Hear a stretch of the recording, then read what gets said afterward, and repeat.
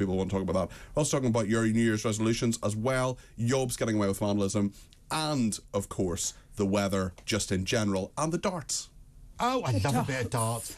I would love. I'm sad that I've got a partner because I was born to be How lovely for a darts player's wife. Right. I okay. was. Okay. You know, cigarette You in hand, get too him much to take makeup. up darts. I should do because I would have been brilliant. At Let's that. have a look at what you could have won. Uh, listen, thank you, Peter. Thank you, Renee. Thank you. are back in your place with David next week. I'm back tomorrow morning, 10 a.m. This is Talk TV.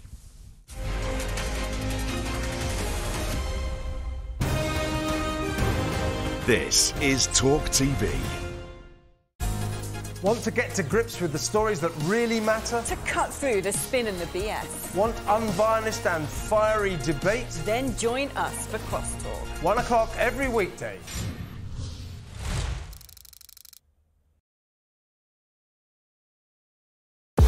We're here! Thanks for joining us. You're with Talk TV, on TV, on radio, online. We're on your smart speaker as well. Criminals to using XL bully dogs as weapons to threaten others. No matter how well trained, most dog owners will tell you a dog can turn. Do you know what I love about Talk Today? We do it all. Sunak, Suella, scones. I rather like David Cameron. I don't sort of bear him any ill will because he delivered the referendum that he said he would deliver. The Tories love a scrap. You can almost see this coming round the tracks with Suella Braverman. She's heading up one side and Rishi Sunak the other. The police are pro Palestine. That is just not right. You swear an oath in the police to act without fear or favour. The COVID inquiry seems to have turned into a sort of pantomime. There's not really any substance to it. It's hard to know whether it's a farce or a tragedy. The amount of time it's taken, the number of illegal migrants currently sent by us to Rwanda, zilch. The amount of money it's cost, we're saying, what are we saying it's cost? About 140 million. 140 million pounds so far. So 140 million pounds so far result nil, absolutely nil. Are we only going to be trusting sources like Meta and Google? Where is our unbiased news going to come from? Calais in winter is cold. that is from the Jeremy Corbyn book. Kevin O'Sullivan is the worst presenter on Talk TV, sitting on his fat ass talking for a living. If you're walking towards me and you're a vegan, you should have a great big orange sticker over here saying, Watch out, vegans about. The weirdest plank that we've had in what, Yeah. three years. Hundreds and hundreds of mice in a box, which he walked into a branch of McDonald's. McMouse Man. McMouseman, yeah. McMouse Man. He should be easy enough to catch this guy, shouldn't he? I mean, he's got a house full of mice. He's on Yeah. This is a major summit. President Biden decided this was important after watching a Tom Cruise film.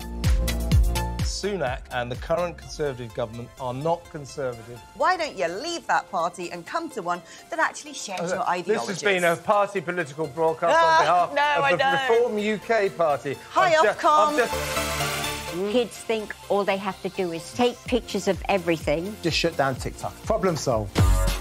This is really unfair. What's, what, what's unfair?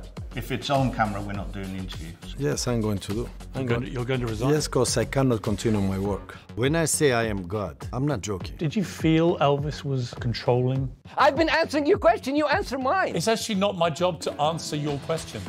Are you prepared to call Is Hamas possible a terror group? is it possible to have a rational You can't, discussion can you? with you? I've asked you two questions. Should Hamas stay in power and are they a terror group? You're refusing to answer either of them. That is very telling.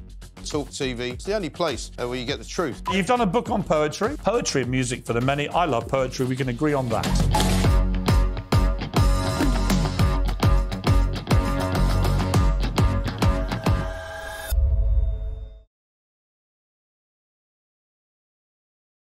Just when I was getting used to my show What Just Happened being on Talk TV every Friday night at 10.30, they go and change it. I'm furious. They've moved it to 8.30 every Friday. Talk TV, What Just Happened? I am furious!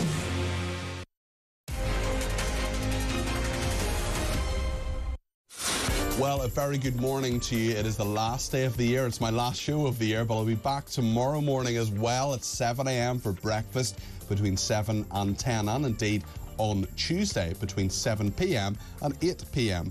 It's an absolute pleasure to be with you now for the next three hours. There's loads to discuss, and the thing that I sense that people want to talk about the most is XL bullies because those XL bully dogs, the American bully XL dogs, must be kept on a lead from today in England and Wales, and it is also now illegal to breed, sell, or abandon them following a series of fatal attacks in recent months. The dogs must also be muzzled in public. The owners who want to keep their dog after the outright ban comes in on the 1st of February have until midnight tonight to register. It's £92 to register their dog. Is there something you do differently?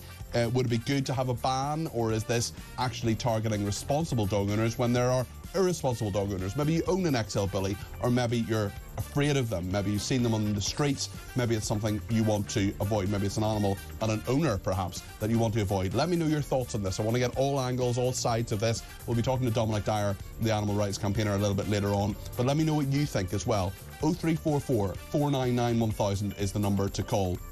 We will take as many calls, texts, and tweets as we can. And Tommy is waiting to take your calls today. If you've never done it before, it's dead easy. You ring the number 0344 499 1000. You have a quick chat with Tommy. You he, you tell him what your point is, what you want to say on air, and then we ring you back. We get as many people on the air between now and one o'clock as possible on all sorts of debates, not just the XL bully debate. We're talking about the travel chaos, about Eurostar cancelling all its trains after the tunnel flooding under the River Thames as well. That bleeds into the weather. We'll be talking about that.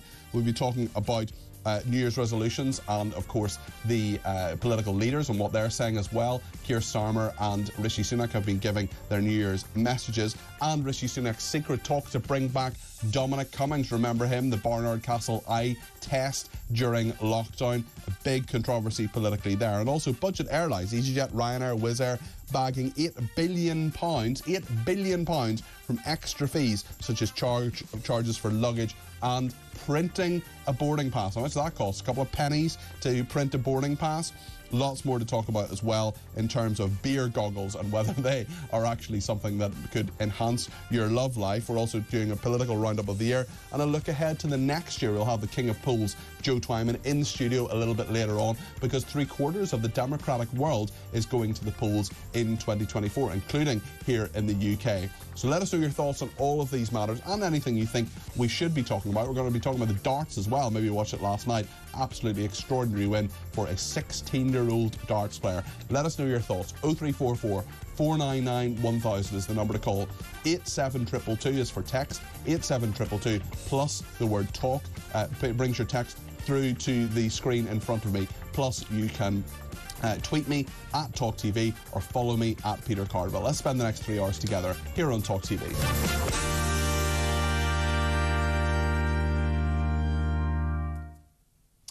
Well, there's lots to discuss this morning, and the XL bully debate is the big one we're going to be having today. I can see the phones going already if you want to join them. 0344 499 1000 is the number to call. But first, I want to talk about travel. I want to talk about the fact that so many people are coming back from either holidays abroad or they've been maybe staying with relatives in various parts of the country. Uh, there are is absolute chaos in our country because, and there's no better man to get the analysis of it than Simon Calder from The Independent, the travel guru. We've had thousands of passengers facing severe disruption to their New Year's Eve plans as well. Of course, today is a difficult day to travel for many people. Eurostar cancelled all of Saturday's trains because of unprecedented flooding in the Thames Tunnel. Now, Simon Calder is in St Pancras at the moment, one of the biggest stations in the country and one of the busiest as well, especially today. Simon, what's the picture there? And uh, give us a sense of, of what has been going on. Very good to see you this morning. Uh, Peter, great to see you. And uh, yeah, well, look, while you have been for the whole year covering political chaos, I'm afraid I've been covering an awful lot of travel chaos. And here on the very last day of 2023, it's looking pretty much as bleak as it has done. I can bring you some good news, Peter, and that is that the first train did set off from here at London St Pancras International to uh, Paris just 10 minutes late or so. Um, that's due to problems that we've got in the tunnel beneath the Thames. That is continuing to be a real problem for an awful lot of people. Um, unfortunately, um, there are many, many cancellations of ordinary southeastern trains, domestic trains, but the 30,000 or so people who are due to travel today are likely to be able to do so without a problem. Unfortunately, the big issue is the 30,000 plus who couldn't travel yesterday, who are now at the back of the queue. I've uh, been inside. There we are. No ticket availability today. We won't be able to get you on any earlier trains. In fact, I've seen quite a number of people who have been queuing up, just desperate to get home, typically to France, to Belgium, to the Netherlands, um, after what has been a miserable 24 hours. And then uh, on the domestic trains as well, Thameslink, they are seeing massive uh, cancellations. Most of the trains going through London St Pancras International on the line from Bedford and Luton to Gatwick and Brighton through the centre of town. Well, those are cancelled due to staff shortage. Just across the road at King's Cross, yep, more than 20 LNER intercity trains delayed or cancelled. Uh, sorry, delayed or sorry, cancelled or curtailed, i.e., they're not running their full route because, again, of staff shortage. And that's a picture really right across the UK. If you look at uh, what's happening in northern trains, that's perhaps the most extreme. They've already put out a do not travel notice for um, six of their routes, including uh, Manchester to Chester, saying we haven't got any staff. And that's not the staff's fault. Um, it, it's a Sunday, Peter, of course, New Year's Eve this year, and Sunday is an optional day, worked on overtime. But this surely. Simon, I mean, uh, staff shortages, it's not as if the fact that uh, New Year's Eve being on a Sunday is something that's been unpredictable. We've known it for a long time. Shouldn't the train companies and many other travel companies have better prepared for this or incentivize people to work today? Or maybe they have and it hasn't worked. Well, uh, maybe they have. Yeah, I mean that, that's basically it. The entire Northern Trains operation west of the Pennines, so the Lancashire side, is run on Sundays entirely on overtime. Nobody is obliged to work.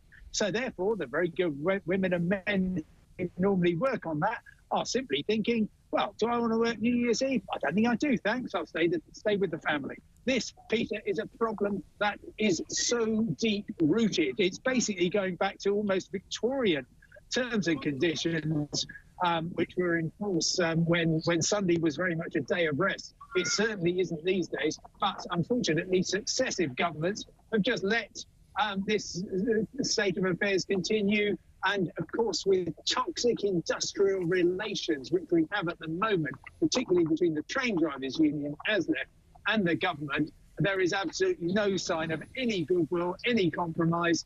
Um, I've never seen the railways so bad as I have done this year, and it is extremely regrettable um, at a time when everything should be done to get people back on board trains. Instead, um, people are just saying, can't rely on them anymore. I'm going to get a car. And so, ASLEF those relations there, there, there will be trouble ahead. Still further strikes, you think, as time goes on?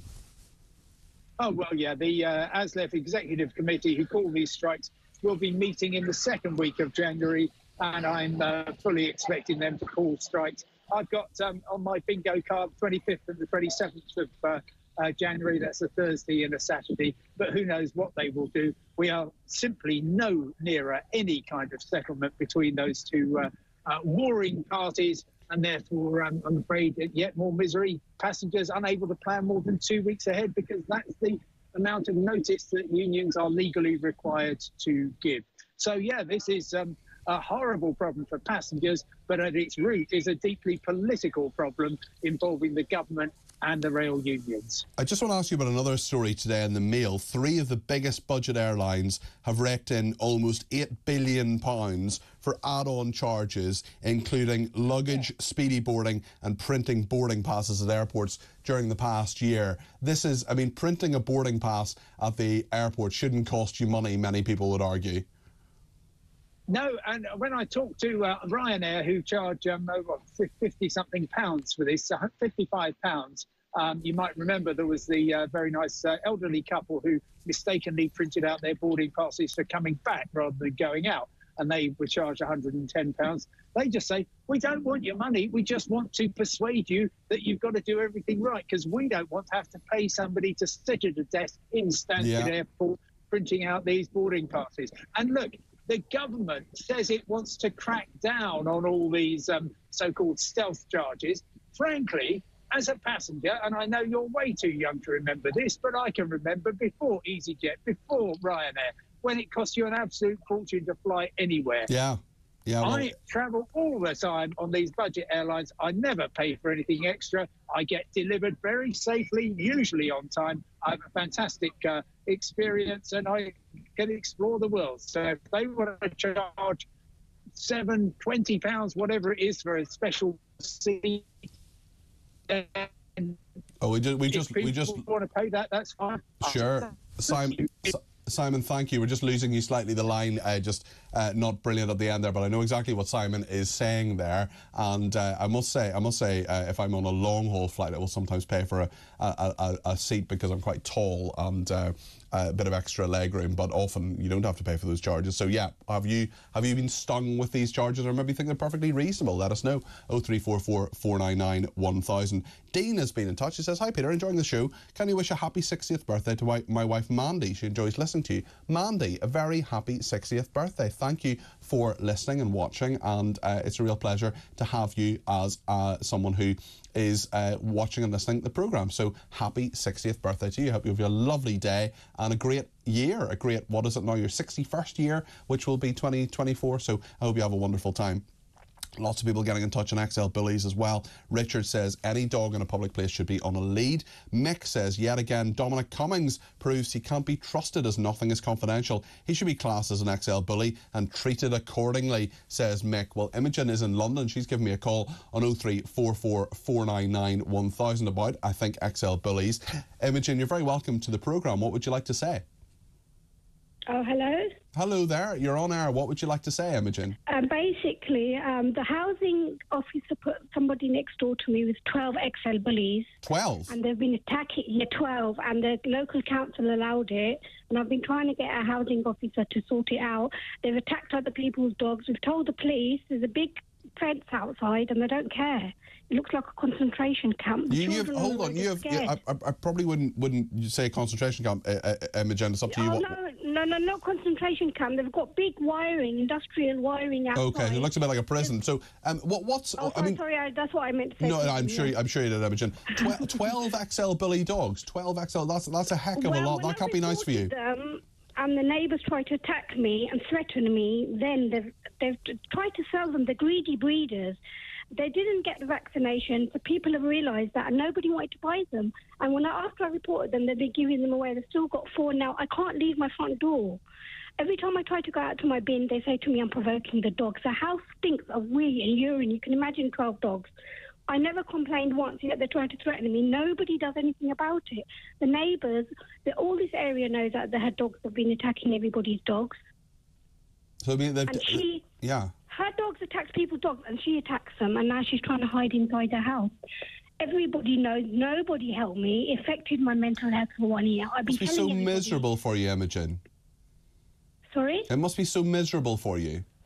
It is because I can't leave my front door to get because there used to be twelve dogs barking around the front, around the back. You can you can imagine how feeding twelve children. How if you haven't got money and you're in benefits, how are they going to feed? They're just greedy breeders. It's disgusting. And now we've got all these dogs dumped in um, and vets and stuff because nobody wants to know. Greedy breeders and people are not looking and or how these dogs have been brought up. If there was 12 dogs in a house, ex and dangerous bullies, how would you have time to give affection to each dog? You're meant to separate them and stuff. It's absolutely disgusting. I want someone to help me. I want you to help me. I want everybody to know what happened to me. It affected my mental health. I can't go around the back, around the front, and they threatened me on top of that.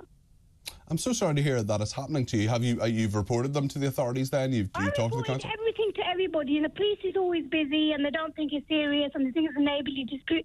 This is not a neighbourly dispute in Birmingham. I've seen the dog attack somebody's neck, and the, nobody's there. When you're outside and you're getting chewed up, I'm so happy that they changed the law. But how dare a housing officer rehouse somebody next door with 12 dogs? How was it allowed? Well, do you think your neighbour is going to obey the law? Um, obviously not, because they're not those sort of people that are getting these dogs. Not every single XL bully needs to be put down because there are some people who've got money and they look after their dogs. These people are on benefit. They're trying to breed dogs, and they've not got the vaccinations and stuff. They don't have no care and attention. All they're interested in is money. So good they've bought in these laws and passports and stuff. And I want the police and the housing to go next door and see t- tomorrow morning if they register their dogs. It's ninety nine pounds. Probably haven't got the money to do it. Goodness me. Well, listen, that sounds pretty miserable for you. Thank you very, very much indeed for your call. Kerry is in Surrey, wants to talk about this as well. Kerry, what's your perspective on XL bullies? Thanks for the call, by the way. Thank you. I couldn't agree with Imogen more. I don't agree with what um, Rishi Sunak is calling for. My daughter has two American Bully XLs, and they are the most sweet, beautiful natured dogs. They're gentle. Um, they have a 10 year old boy in the house. He's with the dogs. They're very responsible. They never leave the dogs with him alone, not Mhm. because they're XL Bullies, but because they're animals. Well, any, any dog shouldn't be left with children. You're absolutely right. That is that sounds like a responsible owner, Kerry. Of course, and I'm. I, mean, I've I've been concerned about um, BSL for a long time because I've got a staffy, and I've always been worried that someone's going to report it as being a, a pit bull. And this is the problem so many dog owners are going to have, even though they don't have an XL bully. Someone will say that they do, and then they're going to have the the the fight with the um, it, with enforcement about whether it is or isn't, or it, it you know it meets the criteria. And dogs that that don't, that aren't XL bullies are going to be killed for no reason. There's hundreds of dogs. I mean, I've applied for for dogs that I've seen on Instagram and social media who have been abandoned by their owners because they are scared. Unfortunately, or fortunately, I don't know because I, I've had the concern that if I get a dog and it doesn't work out because I have a dog and they don't get on, then I'm going to be forced with putting a dog down mm. unnecessarily because there's no. And, there- and there are a lot of people who, who have taken XL bully dogs from rescue centres, for example, who have done that um, and are trying to help these dogs as well. I wonder, um, Kerry, why your um, family has chosen to, to get an XL bully dog. What's the attraction of having it? I can see the attraction for people who perhaps, you know, I, I, your dogs, you're saying they're very, very friendly, or your family's dogs, you're saying are very friendly, but there's some people who do want them to be aggressive. But what, what's the attraction? Why go for that rather than a spaniel or a Labrador or, or any other animal?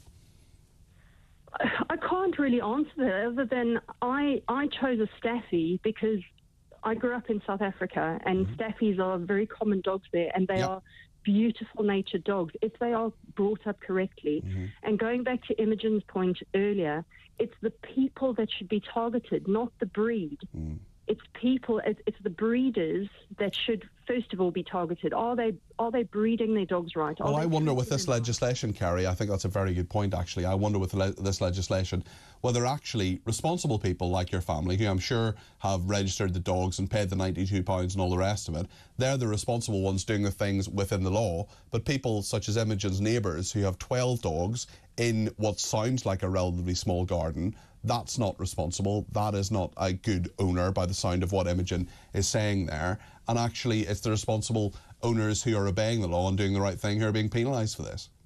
Exactly, and, and one thing that I've said all along is I think that what Rishi Sunak has done is wrong. However, I think he's already forced out a lot of the bad owners because they've abandoned their dogs. Hmm. Yeah. And I think if they reviewed this now and made every single person who owns a dog have a license and prove that they're able to care for their dog and that, that they're doing it the right way, then they would force out these people that are choosing dogs for that reason because they can make them aggressive. I think you make some really, really good points there. Where are you from in South Africa? Uh, I was brought up in Johannesburg and then moved to Cape Town. Whereabouts in Cape Town? Uh, Sea Point, Green Point, Lovely. um, and then Bloubergstrand. I lived in both Sea Point and Green Point. Uh, I was Oh, on my on my gap year in uh, South Africa. I worked for the Cape Argus newspaper uh, for six months um, back in the day, long time ago. Kerry, thank you very much for your call. As Kerry and, in Surrey there, making some very very good points on this. If you want to add to them, if you want to add to the debate, let us know your thoughts. What's on the tip of your tongue about this issue or any other issue you think we are either talking about today or think you, we should be talking about? 0344 499 1000 is the number to call. Thanks to Barry, he says, give all XL bullies to the military. A sign saying XL bully on patrol is likely to get a potential intruder's attention. Uh, that is a radical idea. Lots more of those to come, and uh, let us know your thoughts as well. As I say, the phone number 0344 499 1000. You can text me 87222 with the word talk in your text, or tweet me at TalkTV or follow me at Peter Cardwell. We're going to see what our panel thinks of all this in just a few minutes here on Talk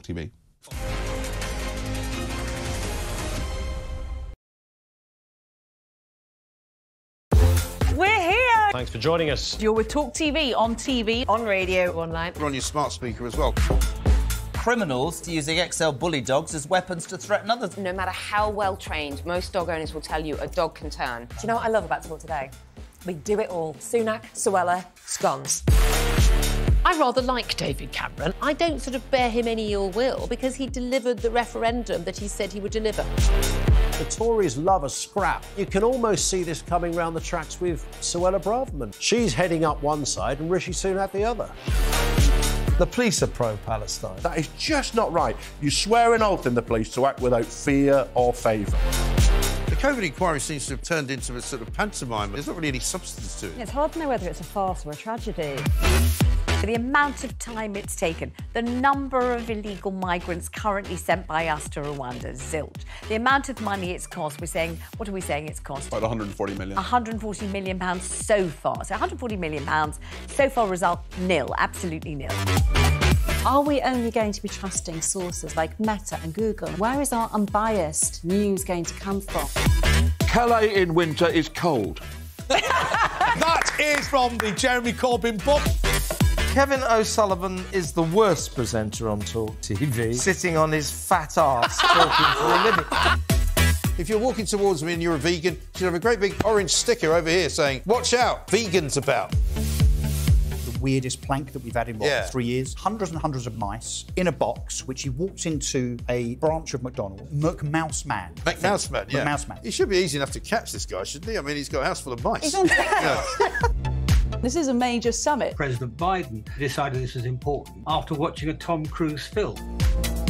Sunak and the current Conservative government are not Conservative. Why don't you leave that party and come to one that actually shares your ideology? This ideology? has been a party political broadcast Ah, on behalf no, I of the don't. Reform UK Party. Hi, I've Ofcom. I've just- Kids think all they have to do is take pictures of everything. Just shut down TikTok. Problem solved. This is really unfair. What's, what, what's unfair? If it's on camera, we're not doing the interview. Yes, I'm going to do. I'm You're going to- you're going to resign? Yes, because I cannot continue my work. When I say I am God, I'm not joking. Did you feel Elvis was controlling? I've been answering your question, you answer mine. It's actually not my job to answer your questions. Are you With you. prepared to call Is Hamas possible a terror group? is it possible to have a rational You can't, discussion can you? with you? I've asked you two questions. Should Hamas stay in power and are they a terror group? You're refusing to answer either of them. That is very telling. Talk TV. It's the only place uh, where you get the truth. You've done a book on poetry. Poetry and music for the many. I love poetry. We can agree on that.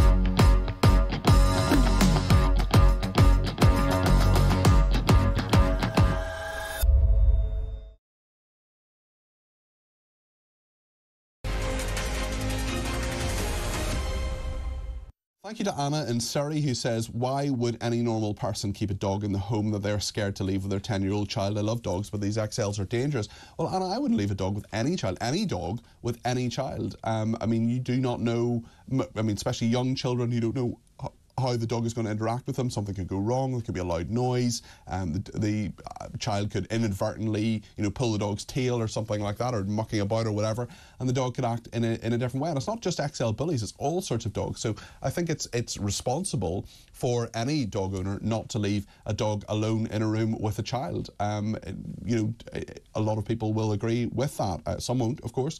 Julie in Chesterfield says all dogs should be on leads and owners have the responsibility of looking after them. There's too much cruelty in the UK. Absolutely agree with that. In the break, actually, I was talking to an XL bully owner who rescued that XL bully uh, who was abandoned in a, a, a truck, a, lorry, seven of them abandoned a truck and rescued that. So I was just chatting to someone in my sort of social circle who was who had, had mentioned that. I knew she had dogs, but I didn't know she had an XL bully.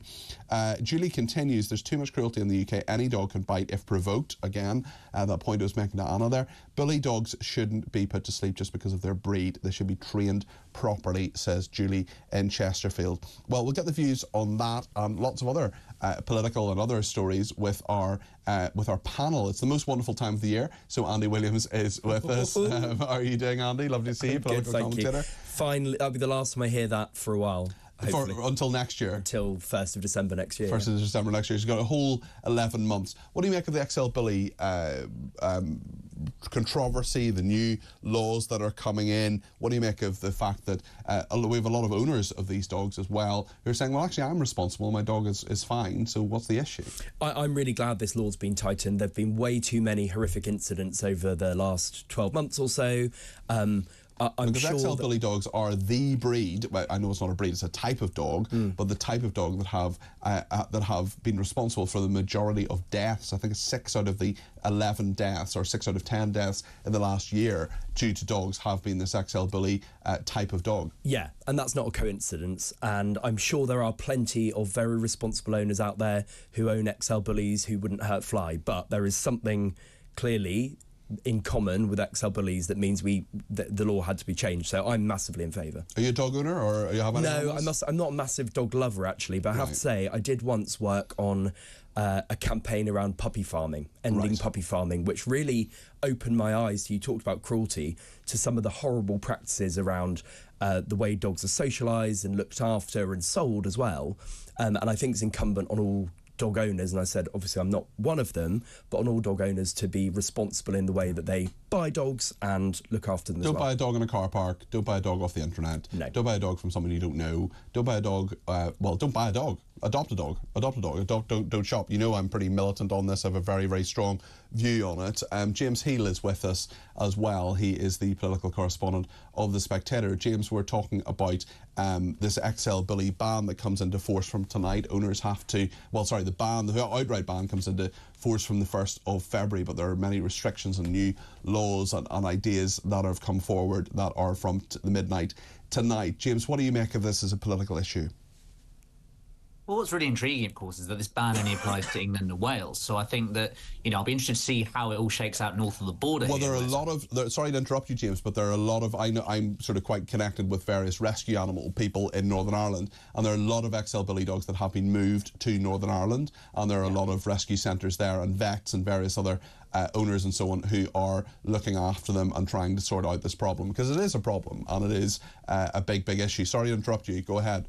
Not, not at all. No, no, no. You're, you're completely right. I mean, I just think that there'll be more probably from from uh, England, uh, obviously moving to Scotland, uh, sort of, uh, you know, sort of the canine equivalent to the Gretna Green marriages, where people used to flee up to Scotland to get married there. Um, yeah, I'll be interested to see how that shakes out north of the border in terms of uh, will there be more attacks as a consequence. But as as your guest was just saying, yeah, absolutely right. I think that campaign groups have cited more than 300 attacks by these dogs over the past year or so. So I think that it, it, it's right that they're taking action. I'm obviously very sorry for any animals affected, uh, but equally, you know, you can't allow uh, the kind of instance we've seen involving other dogs and children as well, and and and, and humans. Uh, so it's probably right that the government act on it, uh, even if it was a little bit too late. We've got quite a lot of messages on this. Anna has been back in touch. Anna in Surrey says, Peter, I wouldn't leave my child with a dog, but I could probably save my 10 year old child from a poodle in the home. Definitely not from an XL bully, uh, says Anna. I think that's the same Anna who was in touch previously, so thank you for your second message there. Brian in Bristol says, No dog is safe. Two of my four young children were bitten in the face by other people's dogs. Each time the owner said it's never bitten anyone before, both dogs were consequently put down. I hate it when a dog approaches you and the owner says, Don't worry, it won't bite you, it just wants to say hello. All dogs in the public place should be in a lead and muzzled, says Brian as well.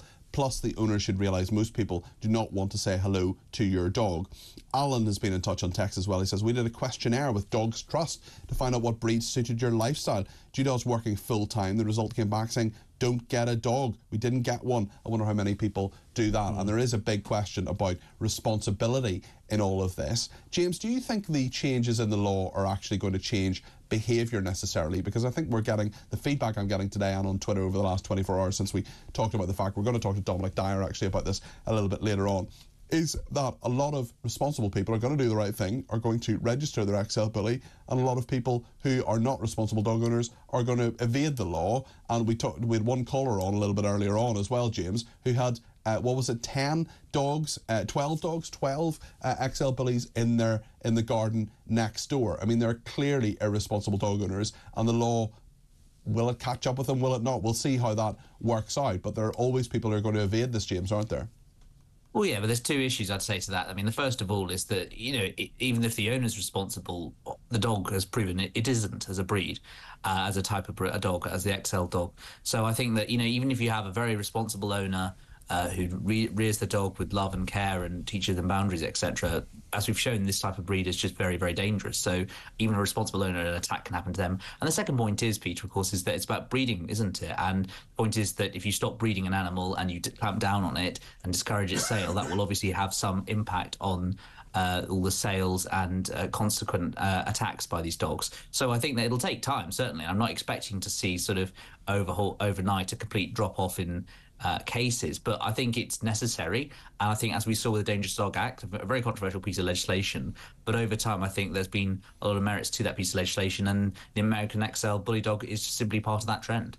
Dan and Kent says, Morning, Peter. We've been here before with German Shepherds, Dobermans, Rottweilers, etc. XL Bullies are the flavour of the year. Certain owners are the ones who need to be kept on a lead. Sean in Bradford, who owns a Beagle, says all dogs have the ability to inflict harm. Would it not be better to introduce dog licenses and owner vetting to make sure people are suitable to have a dog before someone has a dog? They would need a licence and proof of insurance. Uh, that's an interesting idea, isn't it, Andy? Yeah, I think that's a, I think that's a great idea. I, I, as I say, the vast, vast majority of dog owners are responsible. They're animal lovers. They care about the animals um, in in their homes, but some aren't, and we need legislation in place. I think to make sure that we're filtering out the, the, the people who haven't given enough thought and time and attention to the huge undertaking. We saw, didn't we, um, early on in lockdown, lots of people buying dogs for the first time, Yeah. not really thinking about the fact that they'd be going back into the office if they have full time jobs and then no longer able to properly Well, look and that's irresponsible by itself. To, to any animal, when you say you, you've got to have the time, the money. Let's face it. You know, there are people who, who I mean, look, there are people who would say, look, my animal will eat before I eat, uh, no matter what the, the financial circumstance they're in. in. Um, I'm, I'm I'm actually one of those people. But anyway, um, we're in a situation where lots of people during lockdown, as you correctly say, irresponsibly, I think, said, This is my lifestyle now, without thinking, well, actually, in, in, in a, while, it could have been a few months, turned out to be a couple of years, that, that things will change dramatically. I'm going to have the time for this animal, and dogs need attention. Cats, other animals, don't need as much attention. Dogs need a lot of attention as well, don't they? They do, and uh, it's interesting. Uh, we're we're uh, we're changing our working from home, our hybrid working mm. policy in the new year to move to more days a week in the office. Yeah, and I've yeah, had yeah. a couple of people who work with me saying, oh, "I'm not going to be able to do that, unfortunately, because I have a dog now." To which the response of my boss is, "Tough." Yeah, yeah, yeah. And, and that's not going to be the only business where that is happening. On tweets, Lizzie says, no, it won't increase the safety of people in their owners' households, make it less. So these dogs will become very frustrated when they can't have more free exercise, but it will diminish it, it will, it will diminish the danger to the public. XL's hold on, it's innate in the type of dog. Jackie says, Peter, it's not easy anymore to adopt a dog. We had two from the Dogs Trust in 2010 that have unfortunately died now. Jackie, I'm sorry to hear that. Uh, tried four times to adopt another one, but we're told we're not suitable. Uh, it would only have been on its own for 30 minutes a week. That's crazy. Um, you should absolutely be um, dog owners. Jackie, you sound very responsible, very reasonable person, and uh, I want people to adopt animals, and sometimes I think there are uh, too restrictive in, in some of their uh, thoughts on that. Chris, uh, uh, sorry, Marcus is in Derby, and I want to take his calls. Give me a call on 0344 499 1000 and put his thoughts to the panel. Uh, Marcus, you're very welcome to uh, the programme. What would you like to say about XL Bullies? Hi. Yeah, um, it's not just about XL bullies. Actually, I think it's the whole dangerous dog act that he's looking at. Um, with the, uh, an XL bully, it isn't actually a breed. Um, and Yeah, it's a type, very isn't it? To, yeah, it's, it, how can you distinguish um, one dog from another? What we should be doing is is um, punishing the deed, not the breed. And by uh, the way we, I would do this is to make people. Well, some some of these dogs are bred as weapons, and therefore I think we should treat the dog as a weapon. If you use a gun to shoot somebody, you'd be done for murder. If you use if a dog attacks somebody and kills them, that person whose dog it is should also be treated in a similar way to murder. And in doing that, It, it, often, it often is, and often often those those dogs are treated very very harshly. yeah, I'm not on about the dogs. I'm. I'm talking about the owners. Oh, the owners. You the think? breeders. You think? Sorry, you, you think Um, the you yeah, think the owners because they're using the dog as a weapon. You think? Yes, exactly. And and if somebody used a gun to kill somebody, it wouldn't say, "Oh, it wasn't me; it was my gun." Um, and and so you know, I, I, if you if you start making people more responsible, right the way through the supply chain, from breeder right the way through, then it would clear up the.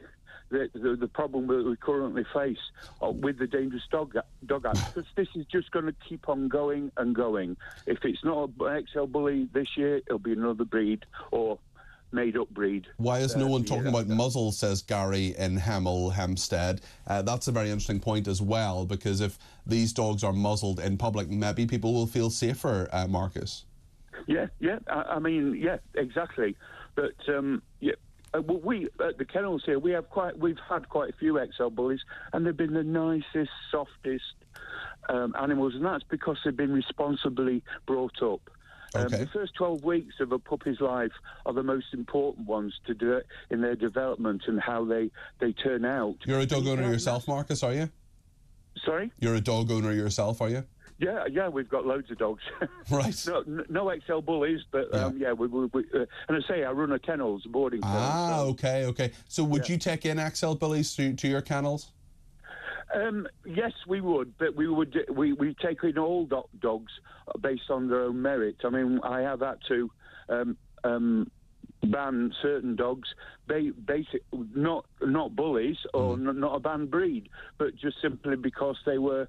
Um, you know, we've had problems biting staff, and they've been badly brought, brought up dogs. Which comes back to your Um, point about deed not breed and responsibility of owners. So, Marcus, thank you very much for that. Loads of messages about that. So, I want to go back to my panel briefly to get their final thoughts on this. Um, Sue says, Peter, surely XL bully owner and responsible dog owner are contradictions in terms, says Sue in Wellingborough. Well, I'm not sure they are, Sue, to be honest. I personally wouldn't get an XL bully dog. I'm not really a dog person anyway, but I do know uh, responsible XL bully owners. I was, uh, I actually know one in my social circle as well.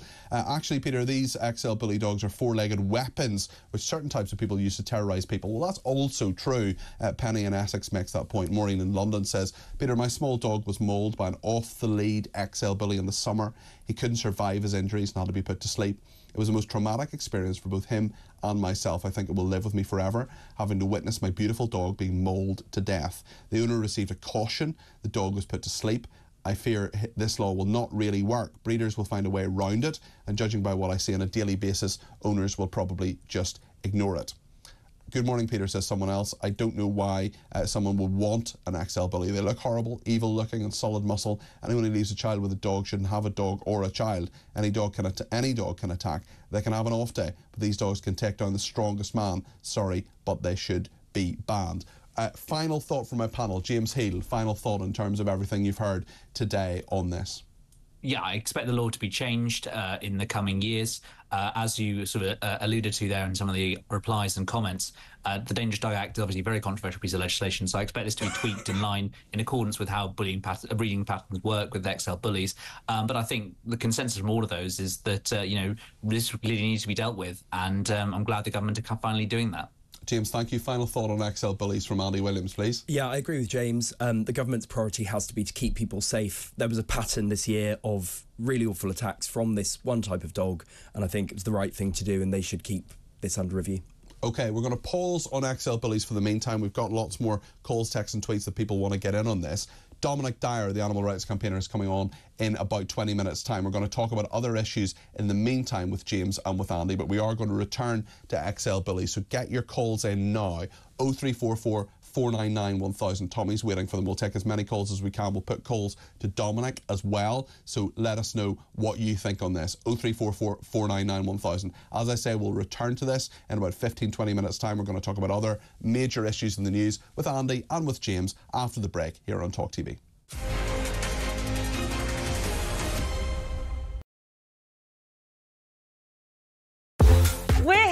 Thanks for joining us. You're with Talk TV on TV, on radio, online. We're on your smart speaker as well. Criminals to using XL bully dogs as weapons to threaten others. No matter how well trained, most dog owners will tell you a dog can turn. Do you know what I love about Talk today? We do it all. Sunak, Suella, scones. I rather like David Cameron. I don't sort of bear him any ill will because he delivered the referendum that he said he would deliver. The Tories love a scrap. You can almost see this coming round the tracks with Suella Braverman. She's heading up one side and Rishi Sunak the other. The police are pro-Palestine. That is just not right. You swear an oath in the police to act without fear or favour. The COVID inquiry seems to have turned into a sort of pantomime. There's not really any substance to it. It's hard to know whether it's a farce or a tragedy. The amount of time it's taken, the number of illegal migrants currently sent by us to Rwanda, zilch. The amount of money it's cost, we're saying, what are we saying it's cost? About 140 million. 140 million pounds so far. So 140 million pounds so far result nil, absolutely nil. Are we only going to be trusting sources like Meta and Google? Where is our unbiased news going to come from? Calais in winter is cold. that is from the Jeremy Corbyn book. Kevin O'Sullivan is the worst presenter on Talk TV, sitting on his fat ass talking for a living. If you're walking towards me and you're a vegan, you should have a great big orange sticker over here saying, Watch out, vegans about. The weirdest plank that we've had in what, Yeah. three years? Hundreds and hundreds of mice in a box, which he walked into a branch of McDonald's. McMouse Man. McMouseman, yeah. McMouseman. He should be easy enough to catch this guy, shouldn't he? I mean, he's got a house full of mice. He's on- Yeah. This is a major summit. President Biden decided this was important after watching a Tom Cruise film. Sunak and the current Conservative government are not Conservative. Why don't you leave that party and come to one that actually shares your ideology? This ideology? has been a party political broadcast Ah, on behalf no, of I the don't. Reform UK Party. Hi, I'm Ofcom. I'm just- Kids think all they have to do is take pictures of everything. Just shut down TikTok. Problem solved. This is really unfair. What's, what, what's unfair? If it's on camera, we're not doing the interview. Yes, I'm going to do. I'm You're going to- you're going to resign? Yes, because I cannot continue my work. When I say I am God, I'm not joking. Did you feel Elvis was controlling? I've been answering your question, you answer mine. It's actually not my job to answer your questions. Are you With you. prepared to call Is Hamas possible a have- terror group? is it possible to have a rational You can't, discussion can you? with you? I've asked you two questions. Should Hamas stay in power and are they a terror group? You're refusing to answer either of them. That is very telling. Talk TV. It's the only place uh, where you get the truth. You've done a book on poetry. Poetry and music for the many. I love poetry. We can agree on that.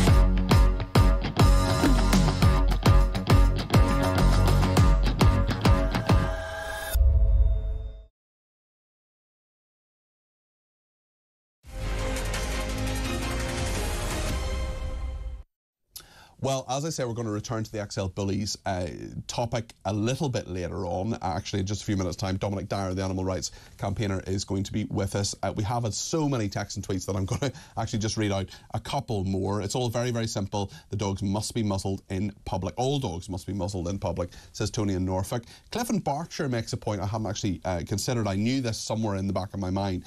But he said, Morning, Peter. Am I correct in thinking that many of the type of dog in question have breathing issues? Surely it's cruel to put such a dog in a muzzle, which will stop it to a degree from being able to breathe uh, freely and pant. And final one on this for the moment uh, Claire in Wolverhampton says, Hi, Peter, loving the show. We are seasoned dog owners, and after our aged uh, border collie passed away. Claire, I'm really sorry to hear about that. Uh, we wanted a rescue. We were turned down by all dogs' homes we approached for various reasons, so I ended up adopting from Serbia. My goodness, it does seem to be difficult. I, I do, I do wonder what the sort of barriers that a lot of these uh, rescue centres put up. Um, I've never had a problem, but maybe you know, maybe it's just circumstance or where my uh, house is and stuff like that in terms of animals. But a lot of dogs in particular does seem to be a problem. As I say, we're going to park this just now, but in about 15 minutes' time or so at 11 o'clock, we're going to talk more about this. In the meantime, there are lots of other issues around today I want my panel to discuss. First of all, I want uh, top political correspondent James Heale's thoughts on Dominic Cummings because the big story in the Sunday Times today is that Rishi Sunak has had secret talks to bring back uh, the former senior advisor to uh, to Boris Johnson, very controversial person. We remember the eye test when he drove to Barnard Castle, breaking lockdown, and all of that controversy. He was he left government in November uh, 2020, I think, and uh, has of course been around in some form, certainly on Twitter, and we now know he's had a couple of meetings with Rishi Sunak. James, what is the view from you? Well, I think it really shows just how all over the place Rishi Sunak's been in terms of strategy, really, which is that he consulted Dominic Cummings, as we understand it, according to Dominic Cummings' account, in December 2022. He then went back to him in July 2023, uh, seven months later. I don't think Dominic Cummings was saying anything that he wasn't putting in his Substacks, tweeting, etc. Um, and I think that it really does give an insight into, I think, perhaps how the Sunak's number 10 team has been trying to reboot the operation, try and have a reset, a overhaul, tried a lot of different things over the past six months at the end of 2023, and none of that has seemed to work. The other point I'd make is that obviously this this news today coming out is going to annoy friends of Boris Johnson, supporters like Nadine Dorries. Uh, it's also going to annoy people within the mainstream of the Tory party, rather put out by Dominic Cummings' way of operating. Um, uh, obviously, he isn't going to go and work for Rishi Sunak, so I think that you know, there's always that to kind of discount it against. Um, but I think that it does raise questions about the kind of advice which Sunak's team is seeking out. Um, although the conspiracy theorists, I think, will obviously see this as proof that the plot was working, etc., uh, and that it was all a the movement.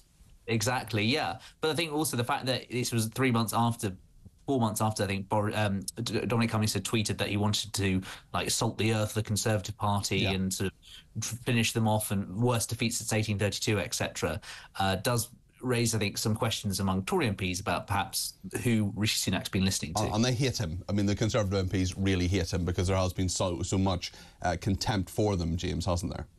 Yeah, completely. And it's always been a pretty toxic relationship, uh, right from the time when he was uh, working, I think, as an education spad, then through the vote leave. And then 2019, he takes away the whip from 21 Tory MPs, some of them very popular in the party.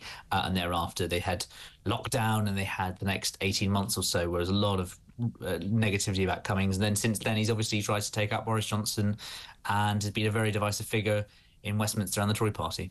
There's no suggestion, Andy Williams, that Dominic Cummings is coming back, but certainly those conversations have been had, and there were denials from Downing Street that Dominic Cummings was involved in talks. Maybe the people who were denying that didn't know what was going on. Maybe this was kept very, very tight in the way that the David Cameron uh, uh, thing was kept very tight. Someone very senior in Downing Street told me about the David Cameron uh, aspect and said, How do you keep a secret in Westminster? You don't tell people. So maybe this was just not known by various people. So, I mean, as someone who is perhaps not entirely sympathetic to the government, Andy. I think I think um, uh, you wouldn't mind me uh, describing I it in such a way. no. What What are your thoughts in regard to to Dominic Cummings and these secret talks that Rishi Sunak has been having with him? Well, I think to, to James's point, what this demonstrates is a growing sense of panic in number 10 because 2023, the strategy was project competence, right? so Mhm, we've got mhm. these five priorities, and Rishi Sunak is saying we're going to deliver on the people's priorities,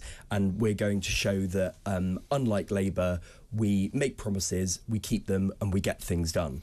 And uh, I, I mean, firstly, not all of those promises have been met by any means, but secondly, when you're 20, 23 points behind in the polls, competence alone is not enough. And what Tim Shipman's piece, which I think is really, I think it's a great story. Proper scoop, isn't it? It's a proper scoop.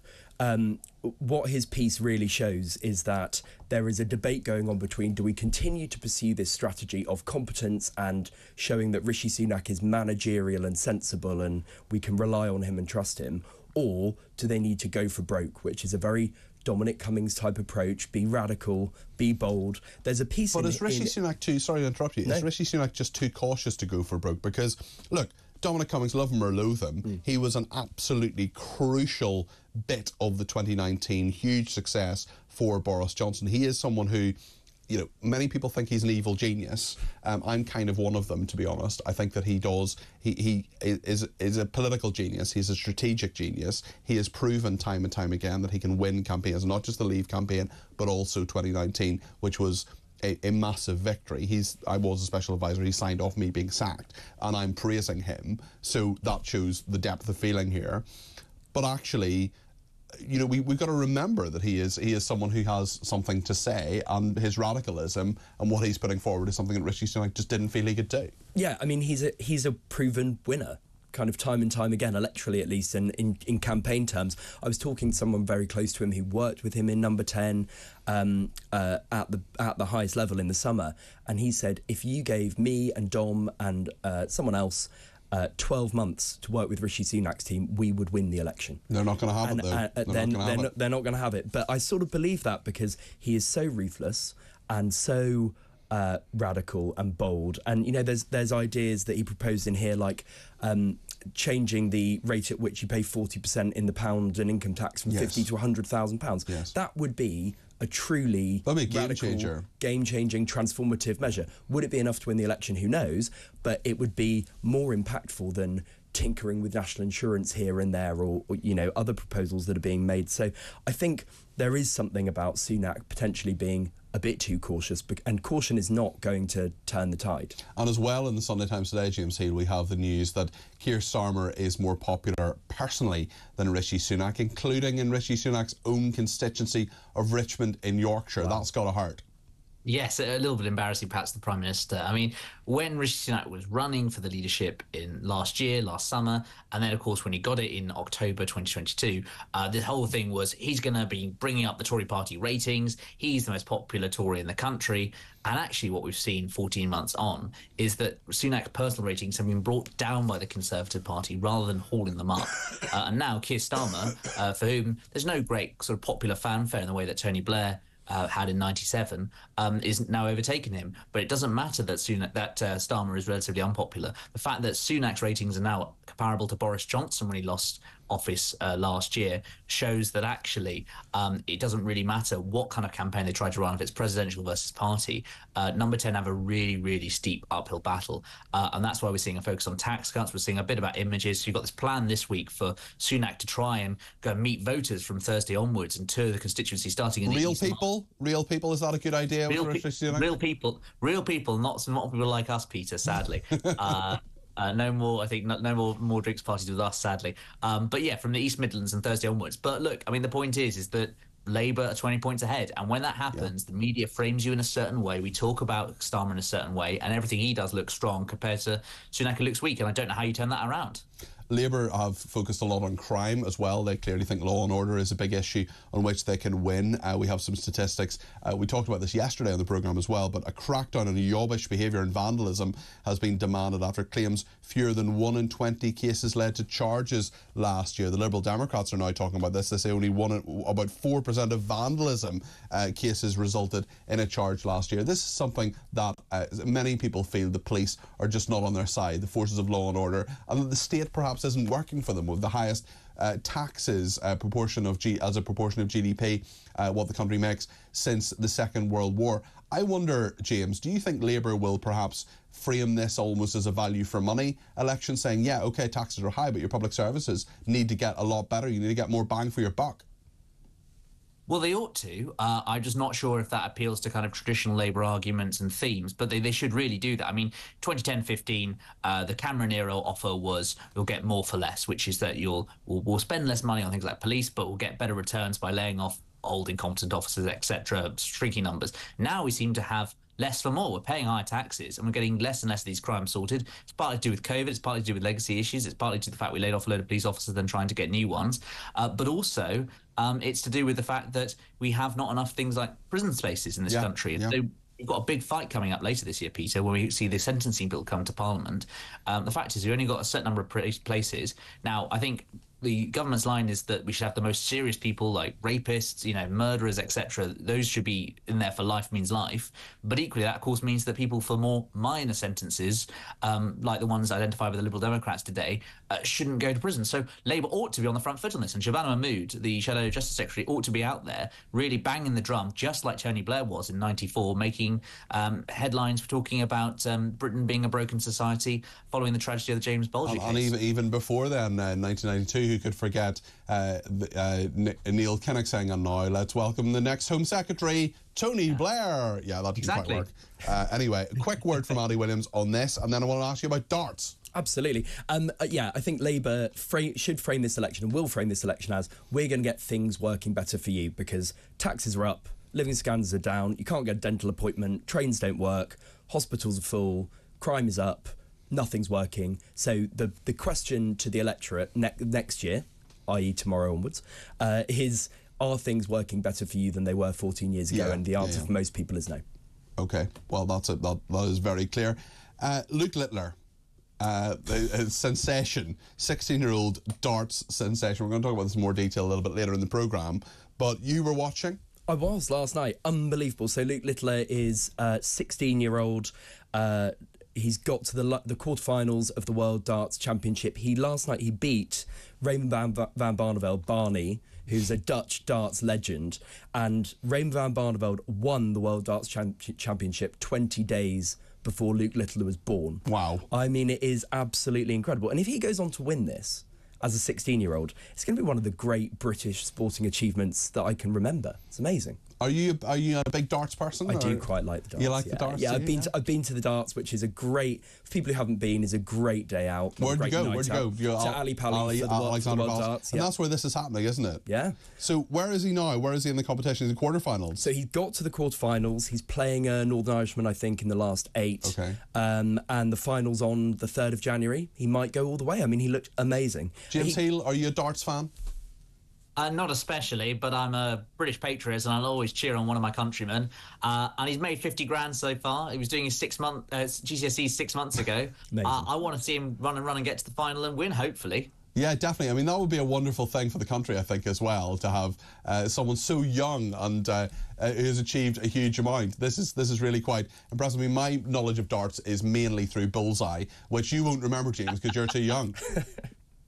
Um, yes, but I, uh, Peter, I'm just going to say it's nice to see a sportsman who looks more like myself. Uh, truly representative. Anyone can make it in British sport. Just saying. Are you saying you're not athletic? I mean, I think that's that's that's outrageous. James Hill, thank you very very much indeed, James Hill, political correspondent of the Spectator. Thank you also to Andy Williams in studio. Andy is a political commentator. Thank you to you. We're going to talk to Dominic Dyer in just a few minutes on this XL Bully issue. Big big issue. Uh, Brian has been in touch to say all dogs should wear a muzzle in public. Simple and will work. A license or registration document won't stop a dog attacking. Lots of debate on this and what your thoughts as well. 0344 499 1000.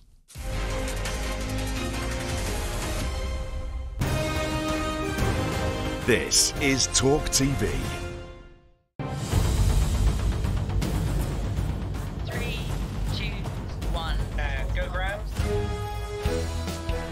This, my friends, is Talk Today with me, Jeremy Kyle. And me, Nicola Thorp.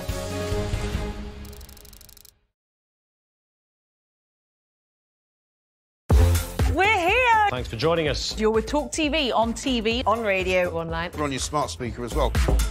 Criminals to using XL bully dogs as weapons to threaten others. No matter how well trained, most dog owners will tell you a dog can turn. Do you know what I love about Talk Today? We do it all. Sunak, Suella, scones. I rather like David Cameron. I don't sort of bear him any ill will because he delivered the referendum that he said he would deliver. The Tories love a scrap. You can almost see this coming round the tracks with Suella Braverman. She's heading up one side and Rishi Sunak at the other. The police are pro-Palestine. That is just not right. You swear an oath in the police to act without fear or favour. The COVID inquiry seems to have turned into a sort of pantomime. There's not really any substance to it. It's hard to know whether it's a farce or a tragedy. The amount of time it's taken, the number of illegal migrants currently sent by us to Rwanda, zilch. The amount of money it's cost, we're saying, what are we saying it's cost? About 140 million. 140 million pounds so far. So 140 million pounds so far result nil, absolutely nil. Are we only going to be trusting sources like Meta and Google? Where is our unbiased news going to come from? Calais in winter is cold. That is from the Jeremy Corbyn book. Kevin O'Sullivan is the worst presenter on Talk TV, sitting on his fat ass talking for a living. If you're walking towards me and you're a vegan, you should have a great big orange sticker over here saying, Watch out, vegans about. The weirdest plank that we've had in what, Yeah. three years. Hundreds and hundreds of mice in a box, which he walked into a branch of McDonald's. McMouse Man. McMouse Man, yeah. McMouse Man. He should be easy enough to catch this guy, shouldn't he? I mean, he's got a house full of mice. He's on Yeah. This is a major summit. President Biden decided this was important after watching a Tom Cruise film. Sunak and the current Conservative government are not Conservative. Why don't you leave that party and come to one that actually shares your ideology? This has been a party political broadcast Ah, on behalf no, of I the know. Reform UK Party. Hi, Ofcom. Kids think all they have to do is take pictures of everything. Just shut down TikTok. Problem solved. This is really unfair. What's, what, what's unfair? If it's on camera, we're not doing the interview. Yes, I'm going to do. I'm You're going to- you're going to resign? Yes, because I cannot continue my work. When I say I am God, I'm not joking. Did you feel Elvis was controlling? I've been answering your question, you answer mine. It's actually not my job to answer your questions. Are you With you. prepared to call Is Hamas possible a terror group? is it possible to have a rational You can't, discussion can you? with I've asked you two questions. Should Hamas stay in power and are they a terror group? You're refusing to answer either of them. That is very telling. Talk TV. It's the only place uh, where you get the truth. You've done a book on poetry. Poetry and music for the many. I love poetry. We can agree on that.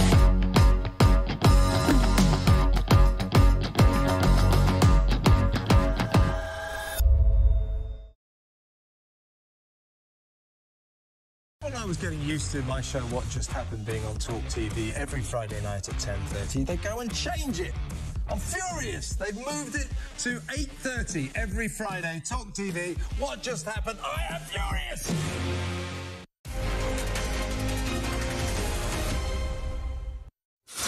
Well, a very good morning. This is Talk TV. I'm Peter Cardwell with you between now and one o'clock. If you're listening on Talk Radio, don't forget you can watch us on Talk TV as well. Sky 522, Virgin 606, Freeview 237, FreeSat 217, or via YouTube or the Talk TV app. And you can toggle between the two. Maybe you're heading out a bit later on. Don't forget to put Talk Radio on in the car and let us know what you think as well because there are lots of big debates, including the XL Bully debate. All, not every call, but almost every call we're getting into the building today is on XL Bullies. We're going to talk about that in a second and we're going to take as many of your calls as we can between now and one o'clock. 0344 499 1000 is the number to call. Tommy is there and he will take your call. We'll get back to as many people as possible and put them on the air.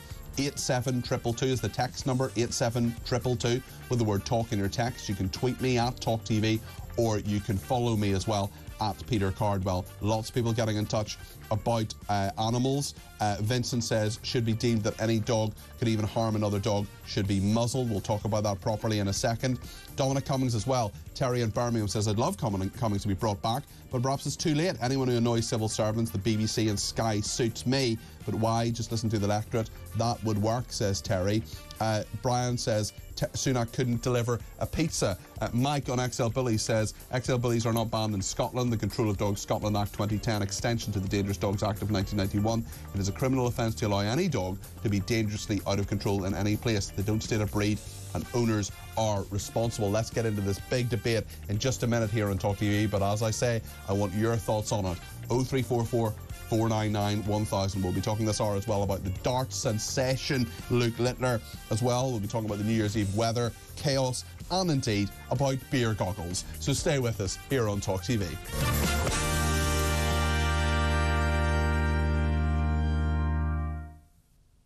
Well, thank you to everybody who's been in touch about this. Lots and lots of thoughts are coming into this building, including uh, from uh, Dominic Dyer, who is an animal welfare campaigner. We're going to talk to him now about this. Dominic, you're welcome back to the programme. Thanks for taking the time this New Year's Eve. Uh, this is a significant day, of course, because the law is changing. The regulations are changing from midnight tonight. People have to register XL Bully dogs, and then from February there will be a ban in place. What do you make of what the government has done here? What do you think they've done correctly? What do you think they've not done correctly, Dominic?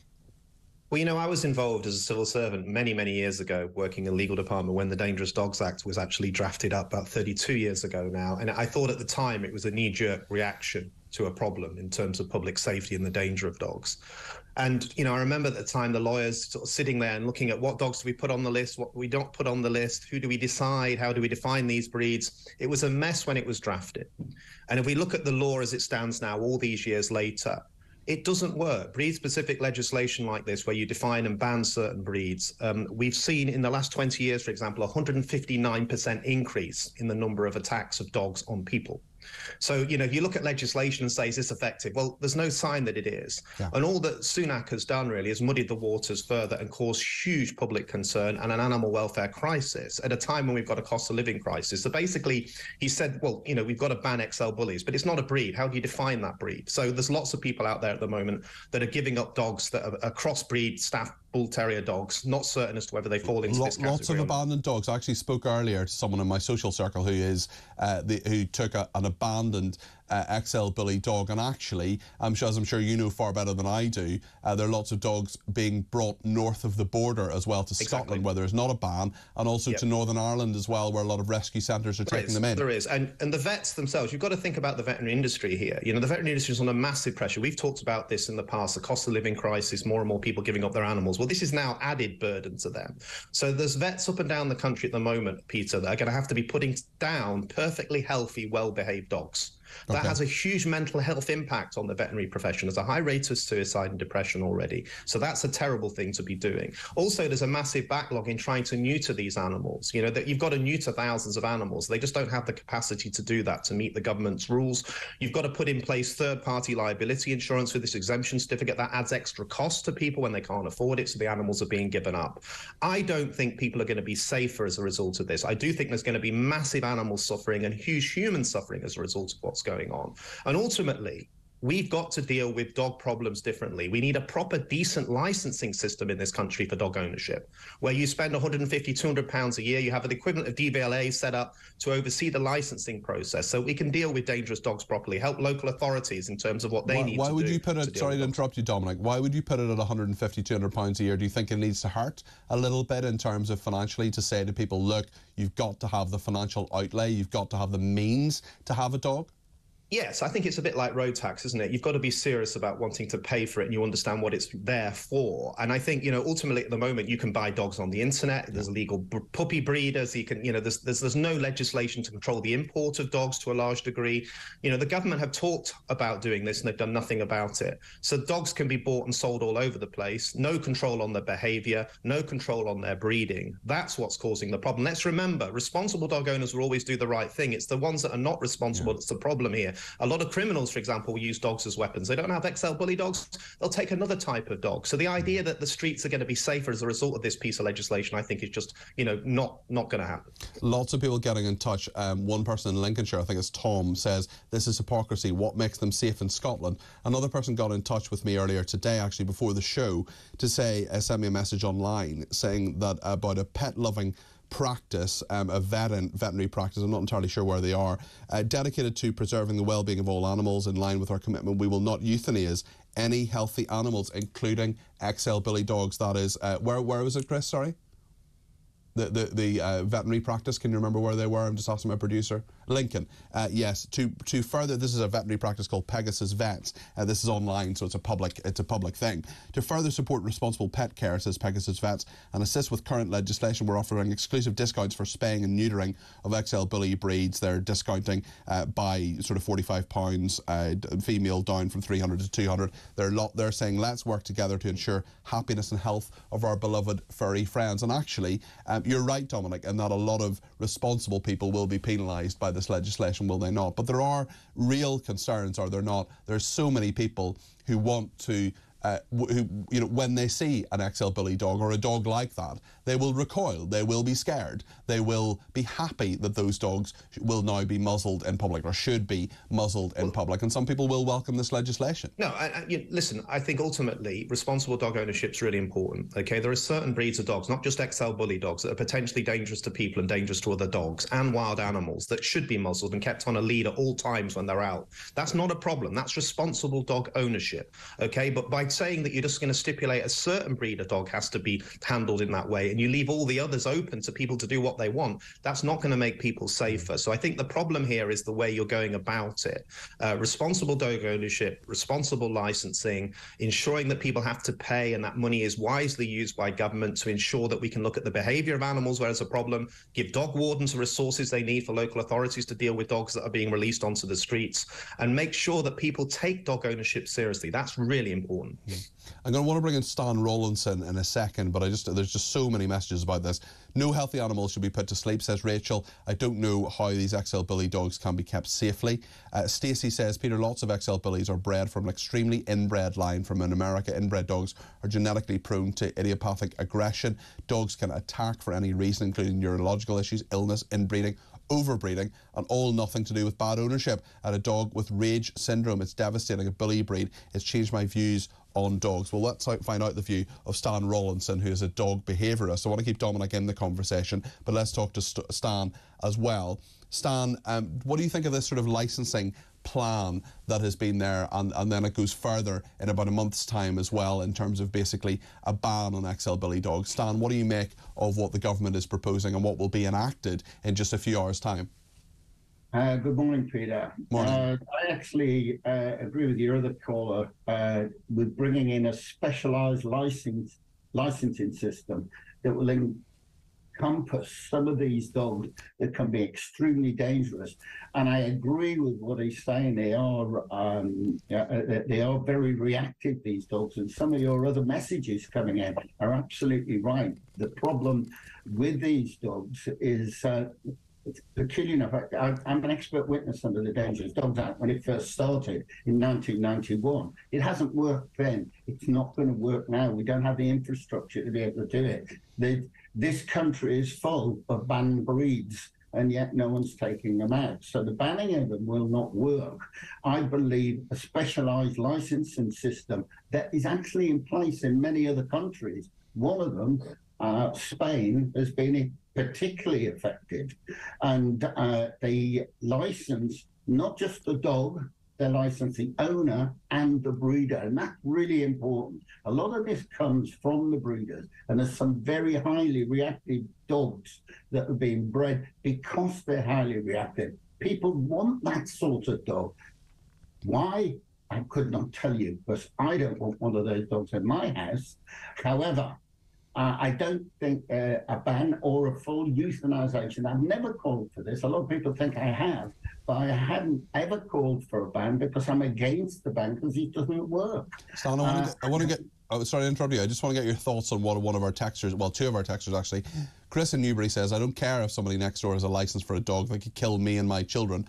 I'm sure a drug dealer will bulk at 250 quid for a license. That was uh, along the lines, a little bit more than what Dominic was saying, but along those lines. All XL Bully should be put down as really simple, says Chris in Newbury. But what I really want your thoughts on, Stan, actually, and maybe Dominic as well, is Lainey in Hertfordshire, who says, I have a one year old staffy. She is 19 inches tall and not as muscular as an XL Bully, but I don't know what I should be doing. I do not believe she is an XL, but it would be a matter of opinion. Even a DNA test would not work as XL is not a breed. I'm worried sick and terrified someone will take my dog. What do you think, Stan? What would you say to Lainey? If it's a standard um, Staffordshire Bull Terrier, then it will not be anywhere near the size of an XL Bully. An XL Bully has to be at the shoulders, the withers, 20 inches for a male and 19 inches for a female. The standard uh, Bull Terrier in this country is far smaller than that. If that dog has been crossed with a number of other dogs, it could be bigger, and therefore it's not really a staffy, it's a crossbreed. Uh, so what she first thing she needs to do is measure the dog up to the top of the shoulders, the withers. If it's if it's a male, 20 inches. If it's female, 19 inches. She should look up the government guidelines on this. The government guidelines are a bit woolly, they're a bit open ended, and I understand her confusion on this. And it needs to be far more specific.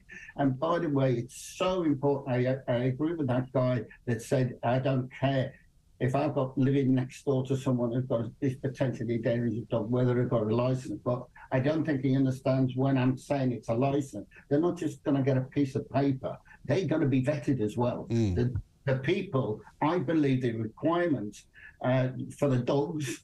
Uh, if they're the type of dogs that are attack dogs that have been attacking a lot lately and things like that, they should be on the list dogs with strong jaws and wide mouths, dogs with bulky heads. But the requirement of the owner proof of identity, passport or driving license, proof of having no criminal convictions, proof of being mentally and physically capable of looking after one of these dogs. And that's a, that's a lot of regulation. Let me just bring in Dominic Dyer in terms of what Stan is saying there. Dominic, a final word from you in terms of what Stan is proposing there. Quite a lot of regulation and, I and think ideas Stan's there. right. I I think you know he is right, and he he would have been right back in 1992 when the lawyers were sort of looking at the list of dogs to put on that piece of legislation. Not when I was back in the civil service. I, I just don't think we're dealing with the problem. Yeah, yeah, it is complex. Uh, of course, there's lots of different types of dogs. They're all potentially dangerous, um, but there are certain breeds that are more dangerous because of their physical stature or because of the way they've been bred. And you need to introduce a licensing system that makes a, a, a very significant level of responsibility of ownership, maybe similar to like having a shotgun license. Let's be clear about that. You know, so you are checking the mental ability of the person, the responsibilities, regular police checks, and all the rest of it. You know, that we sh- we've got to safeguard women women, children, and adults that are being killed mm. by dogs and seriously injured. But also, we've got to be fair to dog owners and we've got to look at the animal welfare issues around what we've got here. This is a poor piece of legislation. It's been made worse by adding this dog that's not specified as a breed to the list. There'll be huge suffering, and lots of people will dodge this legislation. They won't do what is being required of them. And the people that we're really trying to get control of, some of the more criminal elements that use dogs as dangerous weapons, they're not going to take any notice of this. They're still going to be out there. So I'm with Stan on that. I just think we need to cooperate and think more clearly about how we can okay. actually deal with it. Thank you both very, very much indeed. That's Dominic Dyer, who's an animal welfare campaigner, and Stan Rawlinson, who is a dog behaviourist. Thank you both for your thoughts on that. I want your thoughts as well. 0344 499 1000. Lots of people getting in touch uh, on messages as well. Gary and Worthing says, You drive a car, you wear a seatbelt, you walk your dog, use a dog muzzle. Simple as that, says Gary. Uh, why on earth should there be a £150, £200 dog licence? Most uh, of these um, idiots uh, with dangerous dog dogs. For most of these idiots with dangerous dogs, money seems to be no object. Licenses and a database should be free and not based on money. Chris says. Okay, let's have all dangerous dog owner new law. Your dog kills, the owner goes to prison for murder. I'm sure they will all sign up for tomorrow because it's not the dogs, it's always the owner. Trish says regarding bully dogs, the only answer is a muzzle for every dog, not just bullies. Simple and effective, says Trish. Brian says a licensure registration document won't stop a dog attacking. Cliff says, I wonder if the answer is to ban certain people from keeping dogs. If we can ban someone from driving, we should be able to ban those convicted of violence, drugs, burglary, or gang related offences from keeping dogs, and harsh sentences for those to be found ignoring an order. My favourite breed, by the way, is a Rhodesian Ridgeback my favourite breed is Rescue uh, Cliff. Uh, on that note, Dawn in Chelmsford has been in touch. He says, Hi, Peter. My brother Jeff who lives in Plymouth, told me that he and his wife had visited a cat cafe. Apparently, cats sit on your lap. Are you aware of cat cafes? Yes, I am. I've actually been to one, but I'm not sure really what I think of them. Although I did read about a cat pub in Bristol as well. And there's a pub actually not too far away from the Talk TV offices that has three cats, and they are looked after extremely well. If you've got a view on the XL Bully uh, controversy, we have lots of people who want to get in, and we will get as many people in as possible between now and one o'clock. I want you to use the break to give us a ring 0344 499 1000. And we're going to be talking about the darts as well in just a second. Stay with us.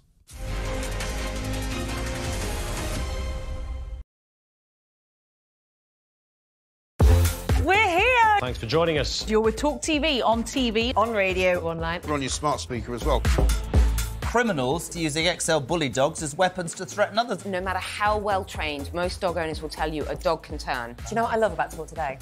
We do it all. Sunak, Suella, scones.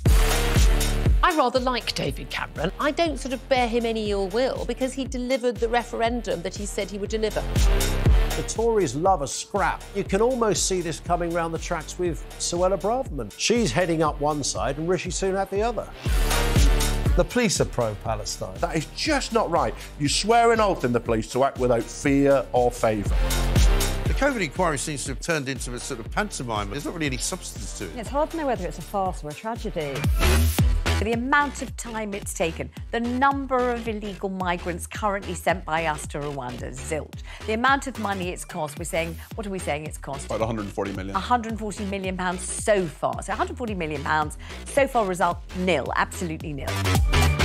Are we only going to be trusting sources like Meta and Google? Where is our unbiased news going to come from? Calais in winter is cold. that is from the Jeremy Corbyn book. Kevin O'Sullivan is the worst presenter on Talk TV, sitting on his fat ass talking for a living. If you're walking towards me and you're a vegan, you should have a great big orange sticker over here saying, Watch out, vegans about The weirdest plank that we've had in what, Yeah. three years. Hundreds and hundreds of mice in a box, which he walked into a branch of McDonald's. McMouse Man. McMouse Man, yeah. McMouse Man. He should be easy enough to catch this guy, shouldn't he? I mean, he's got a house full of mice. He's on- Yeah. This is a major summit. President Biden decided this was important after watching a Tom Cruise film. Sunak and the current Conservative government are not Conservative. Why don't you leave that party and come to one that actually shares your ideology? This has been a party political broadcast Ah, on no, behalf I of the don't. Reform UK party. Hi, I've Ofcom. I've just- Kids think all they have to do is take pictures of everything. Just shut down TikTok. Problem solved. This is really unfair. What's, what, what's unfair? If it's on camera, we're not doing the interview. Yes, I'm going to do. I'm You're going to- you're going to resign? Yes, because I cannot continue my work. When I say I am God, I'm not joking. Did you feel Elvis was controlling? I've been answering your question, you answer mine. It's actually not my job to answer your questions. Are you with you. prepared to call Is Hamas possible a have- terror group? is it possible to have a rational You can't, can you? I've asked you two questions. Should Hamas stay in power and are they a terror group? You're refusing to answer either of them. That is very telling. Talk TV. It's the only place uh, where you get the truth. You've done a book on poetry. Poetry and music for the many. I love poetry. We can agree on that.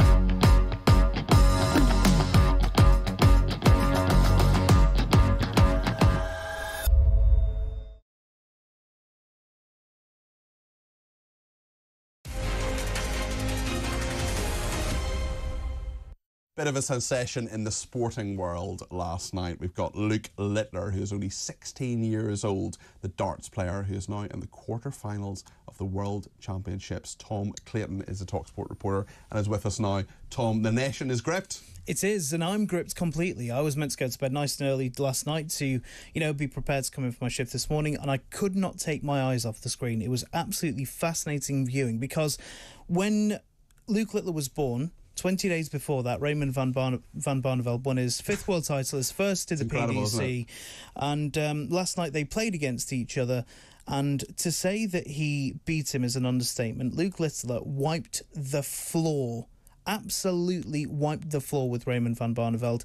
Um, and look, I think, you know, the man that we know as Barney, uh, you know, the the five-time world champion, he was very magnanimous in defeat, and he said, "Look, I hope you go on and win it." I'll- he I'll- said said that to him on stage. He said, You can go all the way. I hope you can go all the way. Yeah. And uh, apparently, Luke Littler said, Thank you. He is a true gentleman and I respect Raymond. He, he, nice, isn't it? He did. And you know what? There's so much respect in the darts community, and it's a very respectful sport. A lot of them get on quite well with each other. They practice and train with each other.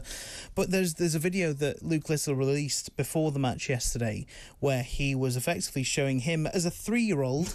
Replicating Raymond van Barneveld in the World Darts Championships, doing the celebration that Barney's become very famous for, with the arms kind of outstretched, and uh, it, it was it was great to see, and I love that we can have that in 2023. And in previous years, it might have been a bit like, okay, well, it's a bit gimmicky, but this year he he's come to play. He has come to absolutely do damage, and he's done just that. just that, excuse me. And he, you know, Luke Littler. I think there's there's a lot more to to come. watch from- as well. I mean, he na- is. was it 980s that he, that he yeah, scored? nine and you know he's a power scorer. He was Sorry, I've got to accurate. say 180. There you go. Uh, he, but he's a power scorer. He's he's exceptional on his doubles. The fact that this lad is 16 years old is frightening. Yeah. Absolutely. Fr- I think about what I was doing when I was 16, and it It's not all doesn't. about you, Tom. It doesn't pale in comparison. it doesn't pale in comparison. He is uh, a real sensation. So what happens next then? Tell us when. When's the, the next one? Yeah, so we're taking a break today because, of course, it's New Year's Eve, so play resumes tomorrow. We get all four quarterfinals tomorrow. Luke Littler will be playing against Brendan Dolan, who's taken some big, big scalps in this. Northern Irish, of course, as well, Brendan Dolan, so one that you might be keeping an eye on, maybe. And. Uh, yeah, so he goes on to that. He's got a semi final then again. If he wins that quarter final, he gets to play against uh, Chris Dobey or uh, former world champion Rob Cross, which will be just a fascinating side of the draw because all four of those, um, only Rob Cross has been to a world championship final and he won it. So, a massive, massive opportunity for the others. And really, really, I'm just so excited for the for the sort of climax of this. Well, of World course. Well, what, whatever happens, it's a great British success Absolutely. story, isn't and it? it's live on Talksport 2 as well, so you can hear all the action. And you know what? We've been saying this darts works on the radio. It's fantastic. Okay, excellent. Thank you very much indeed. That's Tom Clayton there, Talk uh, Sport reporter, and uh, you can get all the action on Talk Sport too. Of course, we'll continue to cover it here on uh, Talk TV as well. Really great story about Luke Littler. They're hammering Raymond van Barneveld uh, to reach the quarter-finals. XL Bullies, big, big story today. Lots of people want to talk about it. Thank you to Mary in County Down. He says the texture Brian calling for all dogs to be muzzled has the sort of hysterical attitude that drives unfair government action like the XL Bully legislation. The number of listeners calling for all dogs to be muzzled is really depressing. These people clearly hate dogs, says Mary in County Down. Bob says uh, all this talk about putting these dogs to sleep because they're dangerous. I can think of many human animals that should be treated in the same way. You probably won't this, read this out, but hey ho, no harm in trying, uh, says Bob. Well, I'm not uh, for putting people down, uh, uh, Bob, but it's it's a, it's an opinion. Um, thank you to the person who has texted in and says, I have a German Shepherd who has now been professionally trained on an e-collar due to the size and strength. He is perfectly behaved on walks and totally under control. Why is the government trying to ban this type of training instead of making it compulsory for these breeds? Mike in York says, Peter Great Show thanks. The XL bully issue is simple. If they're deemed to be a dangerous breed, they should be treated exactly the same as other dangerous animals. The UK's laws are clear about the ownership of such creatures. They must be licensed and maintained in a manner which ensures the safety of people. If that doesn't happen, the animal is destroyed and the owner banned from owning other animals. Thank you to Mike for that. You can join the debate 0344 499 1000 is the number to call. 87222 on text. Be sure to put the word talk in your text so it comes up on the screen in front of me. Text me on uh, 87222 as I say, or you can tweet me at TalkTV or follow me at Peter Cardwell. We're going to come back to some calls on that in just a minute, but I want to talk about the weather first of all because it is pretty bad in many parts of the country. And uh, the weather uh, chaos uh, experts forecasting 75 mile an hour winds amid tornado warnings after heavy rain leaving towns and cities flooded. We actually heard from uh, one of our regular callers, Matt in Cheshire, was talking about his street and the tornado that was there. Um, heavy rain uh, forecast as well, a 260 mile stretch of Britain, slapped with a tornado warning lasting until the early hours of this morning as well. Uh, a specialist forecaster predicting cyclones, saying that one yellow, yellow weather warning issued by the Met Office in some regions. Heavy downpours expected to cause travel chaos. We were talking to Simon Calder about that a little bit earlier on. Let's talk to Nathan Rao, who's a weather presenter. Nathan, thanks for joining us. What is coming up in the next uh, in the next 24 hours or so? Do you think? Oh, I mean, Peter, from what you've just said, it sounds absolutely horrific with tornadoes and cyclones and storms. Thankfully, we have missed it just by the skin of our teeth. It is going to calm down ever so slightly. As you mentioned, the Met Office have just in the last hour issued a wind warning for the south and the southwest. That is really for the West Country, for, for Somerset, Cornwall, that sort of area, and a rain warning for Wales. But what we're seeing is an incredibly stormy end to 2023. We've had seven named storms since since autumn, which is when they start naming the storm seasons. Um, and we had the last one, which was Storm Gerrit, which whipped up that tornado, as you were talking about in Manchester.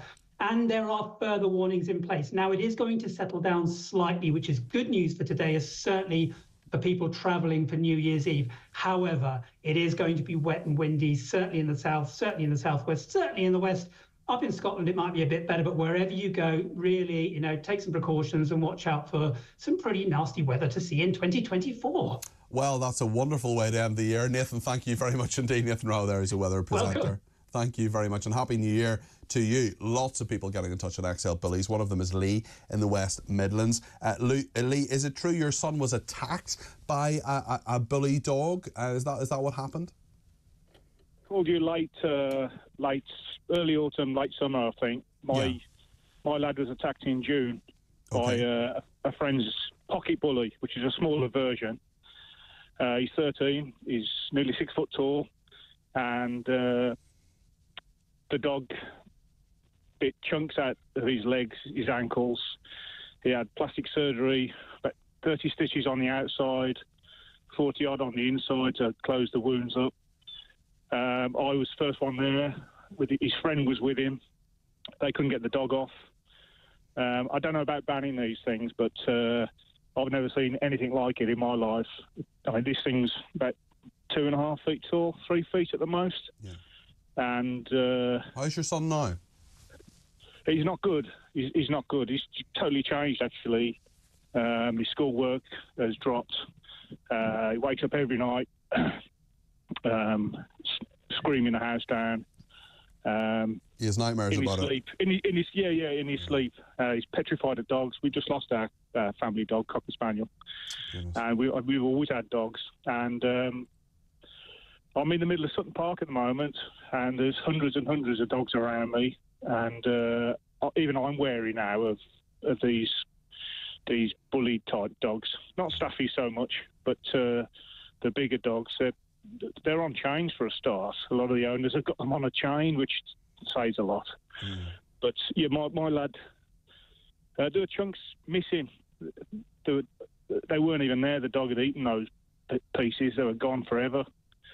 And uh, yeah, luckily the he went to the Children's Hospital in Birmingham and they had plastic surgeons there from a, an operation during the day. And they stayed over to to uh, to to sort him out, but it was absolutely horrific. The room he was in, he was only went to play on the console with his friend for an hour, and uh, yeah, it's life changing. Life changing. I don't know about banning them, but they something needs to be done because they're, they're lethal weapons on the end of a lead, really. And if they're What, not what would the you do if you could wave a magic wand? You could do whatever you want with these animals, Lee. What would you do? muzzle, registered and insured, definitely insured. Um, a muzzle, I think it'd be difficult to get a muzzle on some of these animals. Their, their heads are so wide, but somebody needs to either manufacture them. They should be. They've got to be muzzled. It's got to be muzzled. Even with a muzzle on, they're so powerful. Um, but yeah, it's affected my family in a big, big way. Uh, it's it's changed the whole dimensions of our, our makeup. We, we're all there together, but he, he when I ask him, I spend a lot of time taking him to football and whatever. When I ask him, he, he said he could still feel the dog biting him, and that's what me. affects him the most. Yeah, yeah. Couldn't get it. Couldn't get the dog off him. Um, horrendous. And and these, these are a good family. They're all, everybody's saying about the owners. The owners were decent owners. What's your Um, relationship with like with them now, Lee? Uh, well, just- we haven't got just- one. I'll put it that way. We don't. We don't really. We don't. He sees his friend. He's a he's a good friend, actually, one of his best friends, and um, yeah, It's tough. nothing really. It's tough. Nothing It's, really. it's tough on him as well because when you're, you know, when you're a kid uh, or a young person, you know, I, I'm sure it's really affected that. I'm, I don't want you to talk about something you're not happy to talk about, Lee, but I'm sure it's affected. Well, it has affected that friendship as well, even though it's not the friend's fault. Well, well, actually, give him some some credit. Um, he's a friendly lad. He's got hundreds of friends, and all everybody wanted to know whose dog had, you know, done this thing. He hasn't told a single person, not one. Right. Wow. Okay. So uh, that's the sort of lad he is. He doesn't want to cause any trouble to anybody. But his schoolwork has definitely dropped. His attitude towards school has dropped. Um, he's a been a high achiever really, but now it's he's sort of uh, not not doing bad, but he's definitely affected him. His attitude to everything really. He's um, yeah. We get glimmers of him coming back as as he used to be, but on the whole, he's changed. And it was just this one, one three minute one incident, yeah. attack. Yeah. Well, Lee, I wish you well and I wish your son well. And thanks for speaking so honestly and, and straightforwardly to us about this. Uh, you're clearly a very reasonable person um, who's been through a- an absolutely horrendous time. So thank you, Lee. I want to go to Demi in Edinburgh now, who has adopted an XL bully dog a few weeks ago, Demi. Is that right? Yes, it is, yeah. Four weeks ago. And how's that been for you? You're very welcome to the programme, by the way. Oh, hello. Um, it's been absolutely fantastic. Um, I wouldn't change him for anything. He's such a softie. He's easy to train. Um, I've just not had any problems with him, and I'm I'm a major dog lover, um, and I've had previous breeds of the bull breed, and it's it's how the owner trains them. It's it's it's not uh, every dog. Like as I said, you can't you can't judge a book by its cover. Well, you can't judge a dog by its look. Where did you Where did you adopt the dog from, Demi? Was it a rescue centre or? Yeah, it uh, was rescue. It was um, All Bully Charity Rescue. Um, and I, I do have a son, and he's three year old, and but he's been brought up with dogs. I've been brought up with dogs. I've trained dogs. I've worked. With, I was a postie for over twelve years, and I've never, in our whole time of being a postie in our region, there's not that many bull breeds uh, attack. It's Labradors and Jack Russells and mongrels, and you know I, I've never once in my life been bit by a bull breed.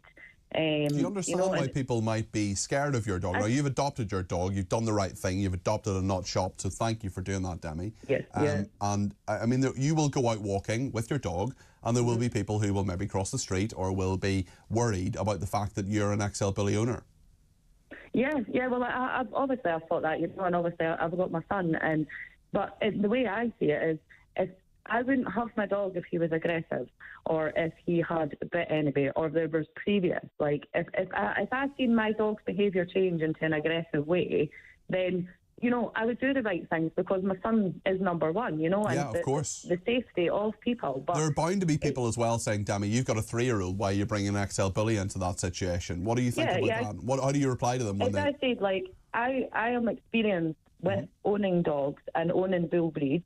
My my mum has an American bull, and she's 11 year old, and she's been brought up with my brother's kids, and you know there's always kids, and she's the biggest softie, and you know I would trust her um, more than what I would trust her with some humans, you know, Yeah, because yeah, yeah. the humans are the problem here. It's you know the the police, especially obviously we don't have we have our own laws in Scotland, you know.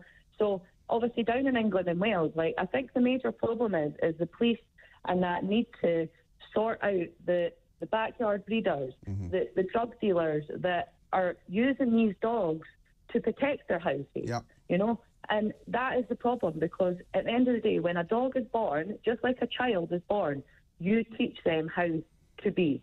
You know, if you teach your child to hit people and be be horrible, then that child is going to do that. And it's the mm. same with a dog. Like I teach my dog that you know command, and he's he'll learn because that's what I'm teaching him. If But I there's so many him- people who are not nearly as responsible as you, Demi. There's so No, many. there's not, You know, you're you're clearly you've thought this through. You've gone through the mo- you've gone through all the process. You're clearly Mm-hmm. someone who's a very intelligent person who's dealing with these dogs, who has lots of experience. But there are lots of people who get these XL bullies and other dogs, but especially XL bullies in this particular example, for bad reasons. And and you're Yeah. tarred with that brush, aren't But you? they will they will move to another breed. They already have moved to another breed. Um, I just think that the government have rushed too much into this um, without thinking of the consequences. Because if you have a family pet, your XL bully in your house that is used to getting walked two, three times a day, it's used to having freedom and meeting other people and meeting dogs, and you've not had a problem with your dog, and then to have to muzzle your dog, it's not allowed to socialise with anybody else. It's locked in a house basically all the time. Like the anxiety of people, especially people with mental health, is going to go through the roof because they're going to be nervous, which then puts that through into the dog. Yes. So then the dog's going to start reacting. Like they've not looked into like they've not looked into it properly. Like mm-hmm. they really haven't. And there's going to be so many that suffer, and obviously so many that are going to get put to sleep on the way that they look. And it shouldn't be like that because the way I see it is that's racism to dogs.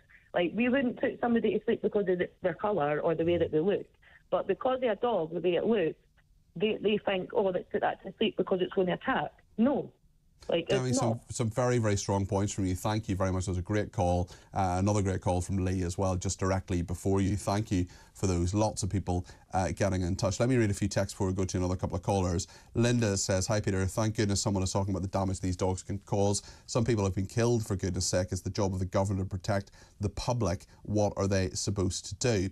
Uh, Stephanie says, uh, Peter, how can anyone even think about voting Labour, the architects of the demise of our country? The Tories have been too lazy and inept to turn it around. Margaret Thatcher had more uh, cojones, shall we say, than all of them put together. Utterly dismayed by the entire establishment and their betrayal of British people. It will come back to hold them.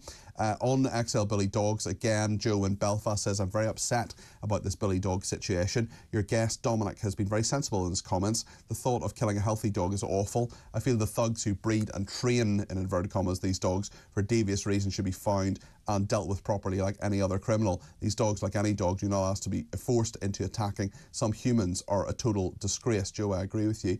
Lisa in uh, Brum says all they had to do was target the breeders. It would stop the problem at source. Put the responsibility onto the breeders to ensure that all puppies go to responsible homes. In my opinion, all dog breeding should be banned until every shelter is empty. It's a strong view, Lisa, but I absolutely agree with you. Uh, banning breeds doesn't work. The only people who comply with the legislation are responsible owners, while the abusive ones just carry on as usual. Lisa, lots of interesting uh, thoughts there. Not everybody's going to agree with you, but I do.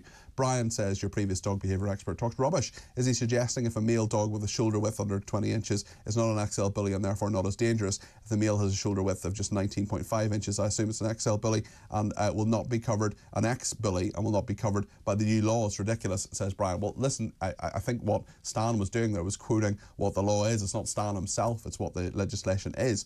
Uh, Chris says Debbie knows all the arrogance of XL Bully owners. She thinks she can control a dog who can kill her three year old child so much she's willing to put a breed that killed nine people in her home. Well, listen, it, it's Demi rather than Debbie, Chris, but yeah, I, look, she's thought it through.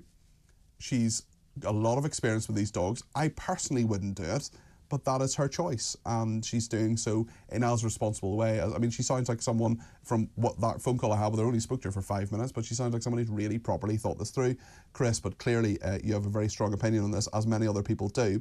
Final text for the meantime. Someone says, "I think there needs to be education towards all dogs and licensing for owners at their expense.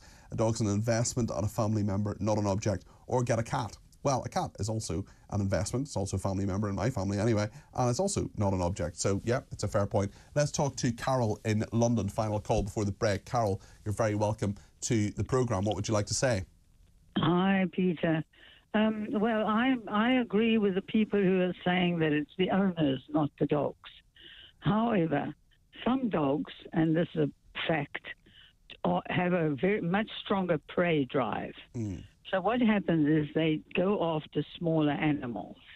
And what I've seen in this, most of the news is that a lot of people who've been attacked by bullies have been attacked because they have little dogs with them. They're walking their dogs. And the, the bully dogs are have their prey drive and they're going after the smaller dogs. And then the owners get involved and everybody gets bitten. The thing is that when the other day they had a, a, a walk um, in Maidstone, I think, for all these bullies. And you can see a lot of those owners are men, and they're pulling on the dogs, and the dogs are straining on their leashes and running ahead of their, their owners. Lots of dogs do that, Carol. Lots of dogs strain on That- leash. No, uh, that is, that must be trained out of the dog. Okay, but I mean, That lots of dogs do that of, of all out. of all breeds. Yes, but you can train it out of a dog. Your dog must never run in front of you. It has to walk behind you or next to you. Okay. Right, but there are lots of. Uh, uh, the the other thing is, I believe all pet dogs should be neutered. That should be a law, because the minute you neuter them, you take a lot of the aggression out of the dog. So if they're all neutered and they're all walked on leash, there shouldn't be a problem. I don't think all dogs should be muzzled. That's, I think, a bit much. Obviously, if you know your own dog, if it's a big dog and, and it might have a, a, problem with small animals, because it normally starts with small animals, then put a leash on your dog. But if it's a smaller dog, and, and as long as it's on a leash, you've got it control. Yeah, well, Why those allow a dog to run all over the place? You know, I live next to a common. I have a small dog. I have a Chihuahua, and he's blind, and he's always on a leash, but he's terrified of bigger dogs. And I walk along, and a big dog comes and sniffs my dog, and my dog turns around and snaps at the dog. Hmm. When I look around, there's no owner for this big dog. I don't care what, what breed it is. I, I know what you mean, and people and owners do need to be responsible, Carol. That is, that is that is I think the thrust perhaps of, of your point there. Tony in London says all fighting dogs should have a muzzle, and owners have to have insurance. The cost of insurance would instantly stop them of thinking and owning these dogs that are for their own ego status. Uh, those talking about muzzling clearly do not know anything about dogs, says another messenger. Uh, can you imagine them not being able to play fetch in the park or play with another dog? It's cruel. Different legislation is required. And Jane in Yorkshire says, Peter, the problem is that if an XL flips, it doesn't just nip, it molds. People die, says Jane in Yorkshire, who sends much love to the programme. Well, thank you, Jane. That's very kind. We're going to continue talking about this. We're also going to talk about the science of beer goggles. It's New Year's Eve, so that might be relevant to you. Coming up next.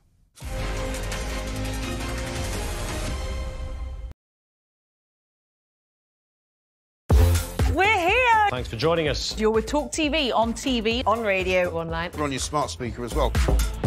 Criminals to using XL bully dogs as weapons to threaten others. No matter how well trained, most dog owners will tell you a dog can turn. Do you know what I love about Talk Today?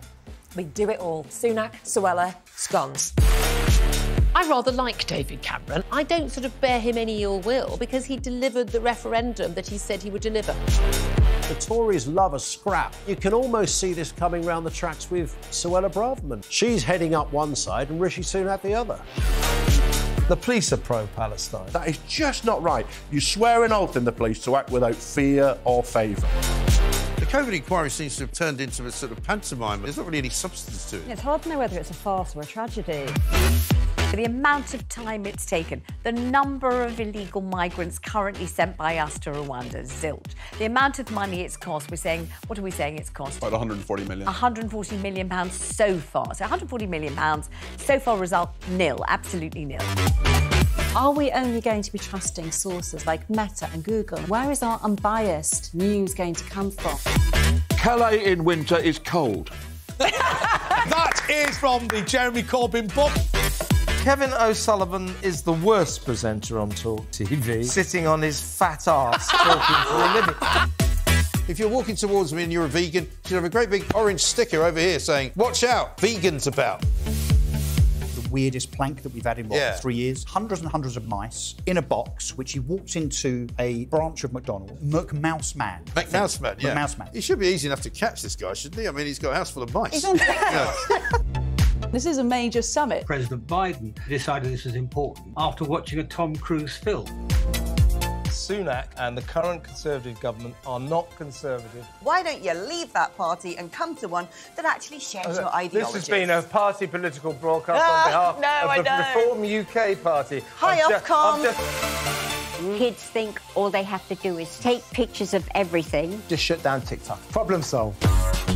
This is really unfair. What's, what, what's unfair? If it's on camera, we're not doing the interview. Yes, I'm going to do. I'm You're going to- you're going to resign? Yes, because I cannot continue my work. When I say I am God, I'm not joking. Did you feel Elvis was controlling? I've been answering your question, you answer mine. It's actually not my job to answer your questions. Are you with you. prepared to call Is Hamas possible a have- terror group? is it possible to have a rational You can't, can you? I've asked you two questions. Should Hamas stay in power and are they a terror group? You're refusing to answer either of them. That is very telling. Talk TV. It's the only place uh, where you get the truth. You've done a book on poetry. Poetry and music for the many. I love poetry. We can agree on that.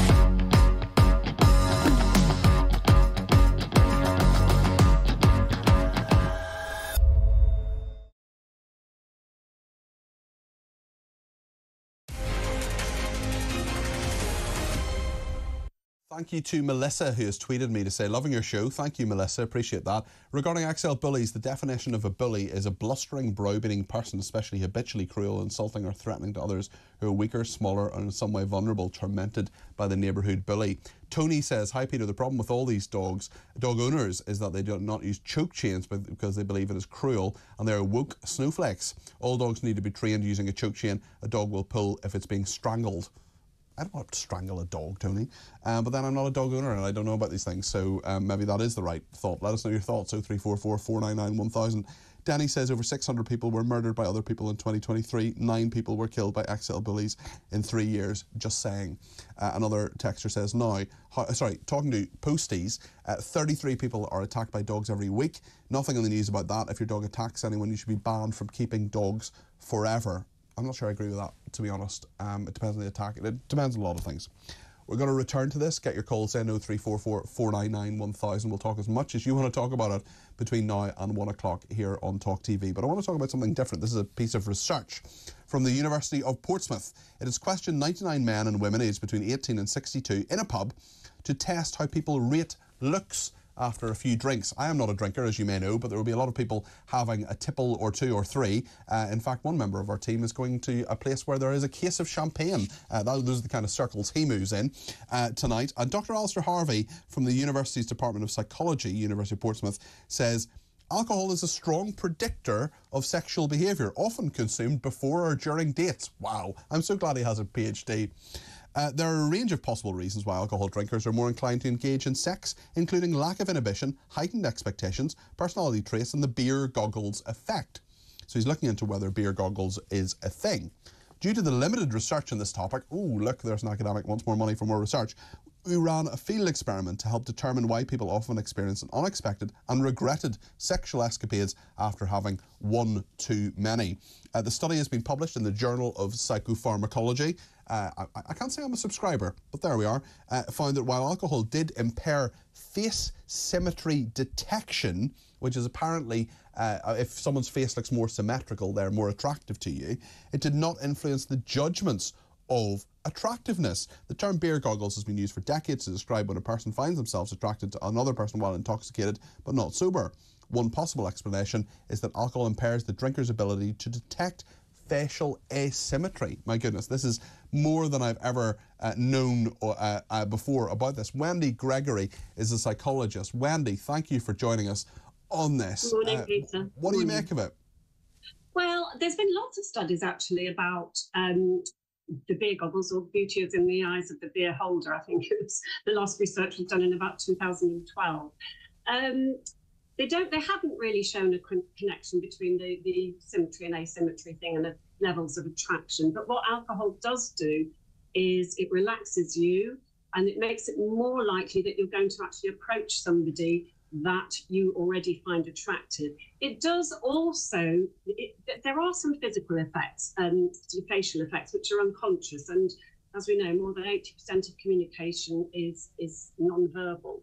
So, for example, when you drink alcohol, your pupils dilate. Well, as humans, we, without realizing it, we pick up when someone else's pupils dilate, and that is can be a sign of desire, of sexual arousal.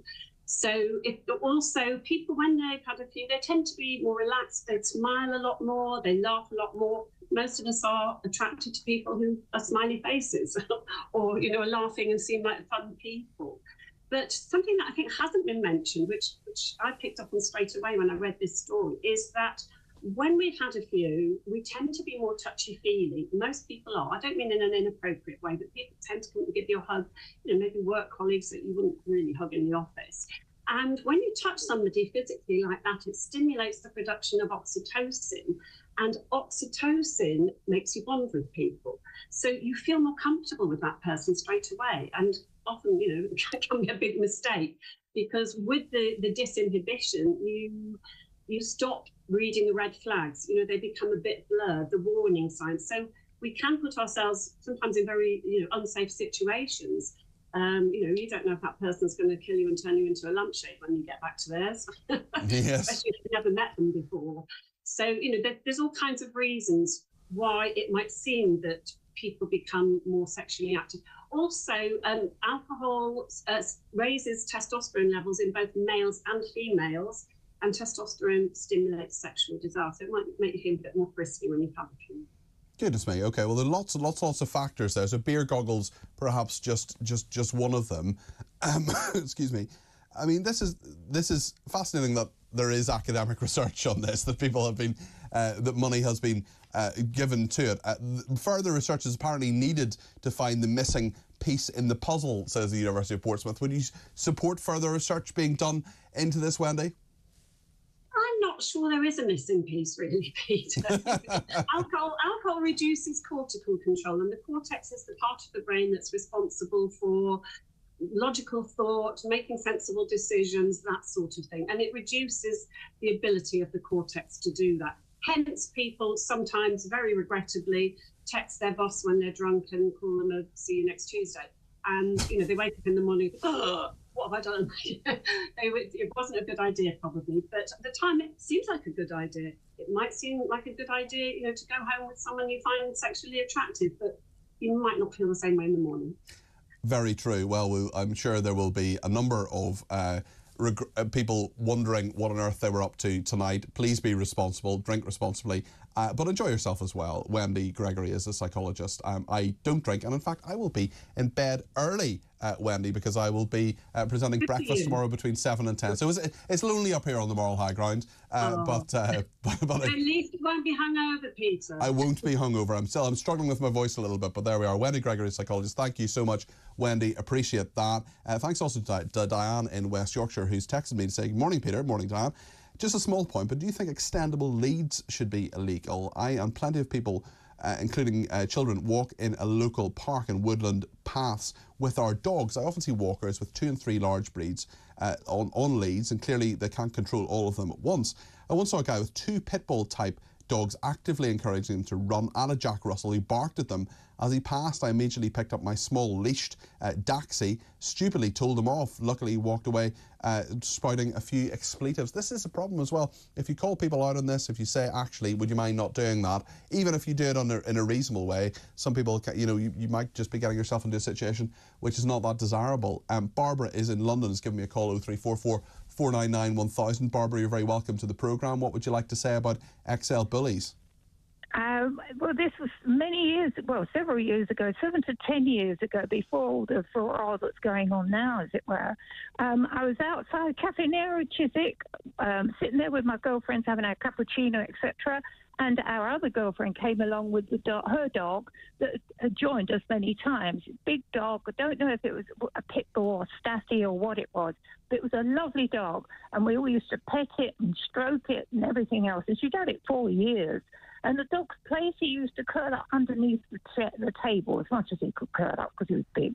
But uh, underneath the table, and we used to sit there and chat and all the rest of it. A lady walked like in Chiswick. Everybody goes around with their dogs on leads unless they're in the park, obviously. A lady walked past us on the pavement and uh, with a little white poodle. Bloody hell!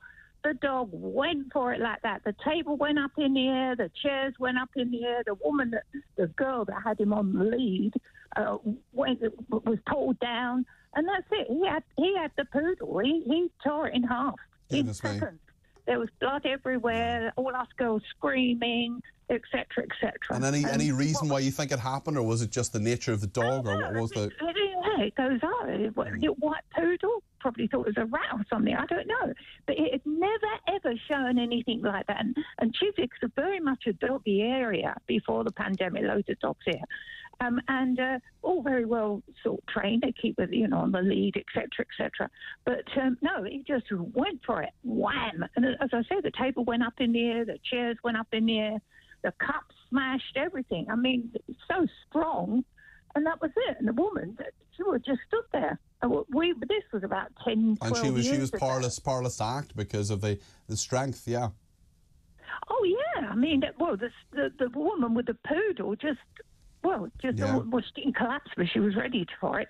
But the, the, the young lady, because we were all 10, 15 years younger then, for 12 years younger then, um, she she still had them on on the lead, and a thick lead and all that. But of course, they're just too strong and unbelievable, unbelievable the strength. And because the the, the Caffè Nero is right on top of the traffic lights, it's uh, the the pavement's not that wide, but it's Yeah. never ever anything like that before with Yeah. dogs. It must have been very shocking for you. Well, yeah, but I take it with a pinch of salt, sort of thing. But Mm. uh, the other girls, I mean, well, all of us were screaming, and nothing we could do. That was it, Goodness blood me. everywhere. Okay, it well, was, thanks it for thanks. It was a ter- It was bad. It was yeah, bad. yeah. Well, But thanks. It's a horrific story, Barbara, but thank you so much for uh, sharing it with us. My goodness, there are lots of people who want to get in on this. If you want to uh, make your point as well between now and one o'clock, we will take more calls on XL Bullies and anything else you think you should we should be talking about. 0344 499 1000 is the number you can call. You can text me 87222 uh, with the word talk in your text. You can tweet me at TalkTV as well or follow me at Peter Cardwell on Twitter. Lots more to come, including a look ahead to the political year uh, with Joe Twyman. Stay with us.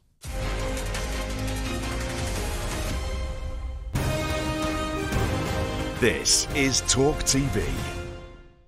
For the news that matters, for the opinions that matter, for the stories that matter. Find me, Vanessa Feltz, every weekday at 4 pm, only on Talk, on TV, on radio, online, and on your smart speaker. We're here. Thanks for joining us. You're with Talk TV on TV, on radio, online. We're on your smart speaker as well. criminals using XL bully dogs as weapons to threaten others. No matter how well trained, most dog owners will tell you a dog can turn. Do you know what I love about Talk today? We do it all. Sunak, Suella, scones.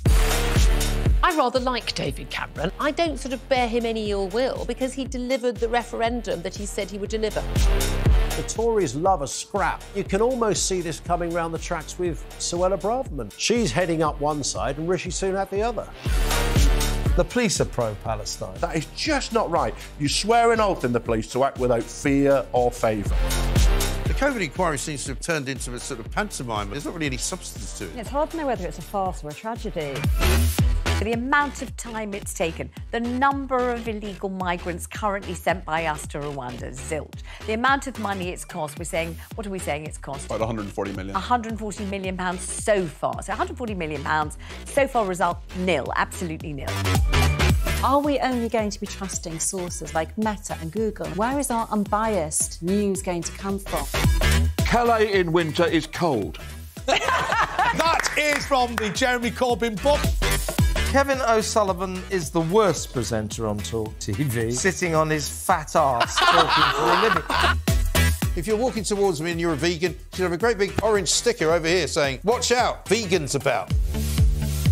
The weirdest plank that we've had in what, Yeah. three years. Hundreds and hundreds of mice in a box, which he walked into a branch of McDonald's. McMouse Man. McMouse Man, yeah. McMouse Man. He should be easy enough to catch this guy, shouldn't he? I mean, he's got a house full of mice. He's on Yeah.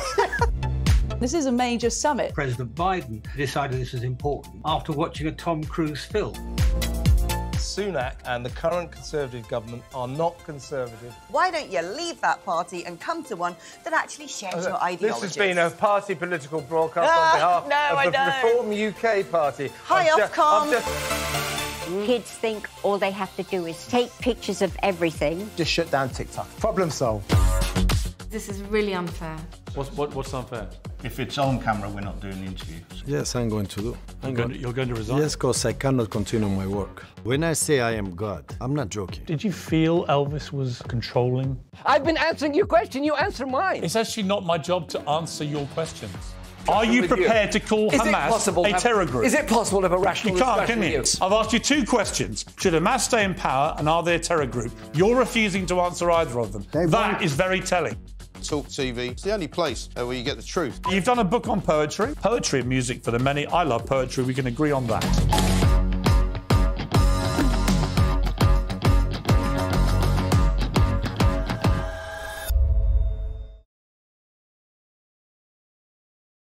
When I was getting used to my show What Just Happened being on Talk TV every Friday night at 10.30, they go and change it. I'm furious. They've moved it to 8.30 every Friday. Talk TV, What Just Happened? I am furious.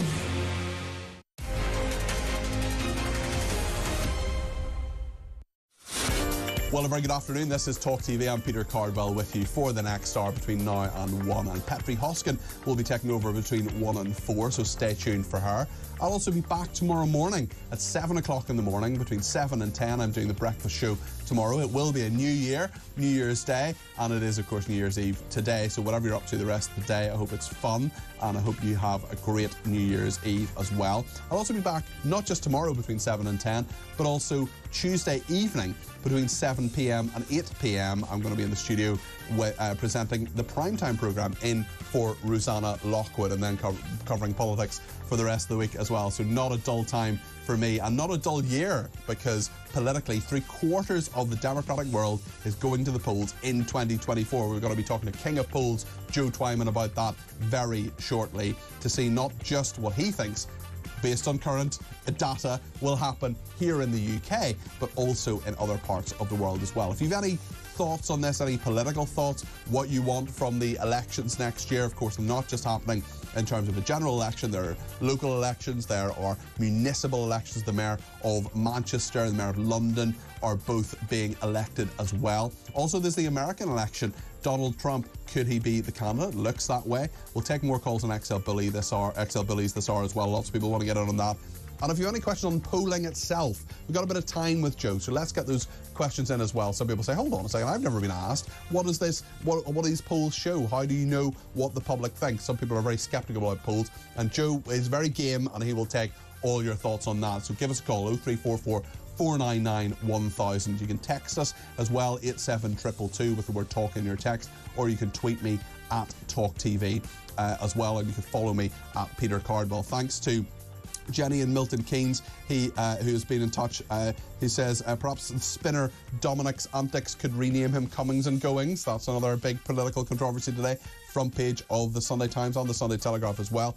And Jill has been in touch on dog licenses. She says they're a good idea in principle, but will not prevent a tax. The people who have them uh, uh, to breed at home or for status are too selfish to train them or secure them properly and won't buy a license. It won't stop them escaping from gardens, getting loose from their owners, etc. And it will be expensive to administer for XL bullies, so it won't happen. There needs to be strict sentencing guidelines for owners whose dog attacks, whatever the outcome of the attack, and a complete ban on ownership on the guilty owner and his or her family. It's the people who are the problem, says Jill. Well, let us know your thoughts on that. That number again, 0344 499 1000. Let's spend the next hour together here on Talk TV.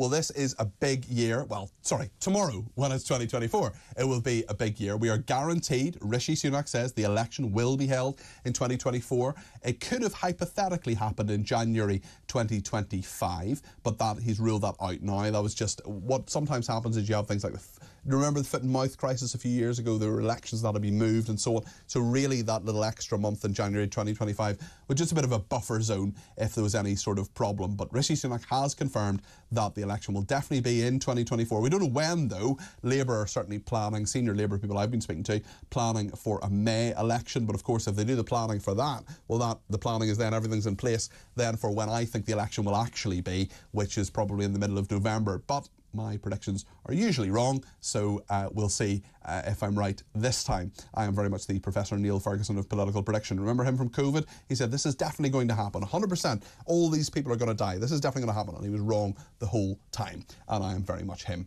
Uh, so we're going to talk to Joe Twyman now, the king of polls, who is the uh, co founder of Deltapoll, a big polling company in the UK. Joe, great to have you in the studio. How are you doing? I'm doing very well. Thank you, Peter. It's good to be here. Great to see you. And it is the last day of the year. And what a political year it has been, Joe. Won't, at some, well, there was a couple of stages out there in the Talk TV newsroom. I was just going, won't somebody stop the news? It just never stopped, did it? Yeah, it's it's been quite a uh, quite a year, but uh, but of course next year is the really big one. Yes. and uh, and of course all of the all of the events and uh, and the movements that we've seen over the last twelve months could pale into ex- insignificance compared to uh, compared to next year. Because actually, when you look at the polls this last year gone, some of them really haven't moved at all. They have actually been quite static, haven't they? And often you have, oh, uh, you know, Labour 17 points ahead, Labour 19 points ahead, Labour 23 points ahead. I mean, there's not that much difference in that. The, when was the last time the Conservatives had a lead in a poll?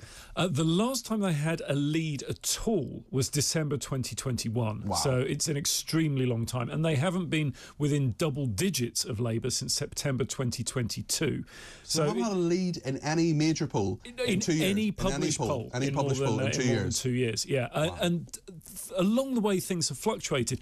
It's worth remembering, for instance, that in the run up to uh, in the run up to the summer, around about sort of June time, the Conservatives did get it back to around about 11, 12 points, and the direction of travel looked to be in their favour. But then we had that period of time with Boris Johnson's resignations and Nadine Dorries's uh, uh, sort of resignation, pseudo uh, pseudo resignation it went back to 20 points and uh, and that has really been the uh, been the story of the conservatives year that at each stage when it looks like they might be making some headway uh, some headway like they might be actually clawing something back something happens and uh, and it's you're back to a 15 20 point lead for Labour events dear boy events tell me from Rishi Sunak's perspective what works for him politically? What are the things that give him a pull bump? And are those the things that just always work anyway if you do a big tax cut or something like that?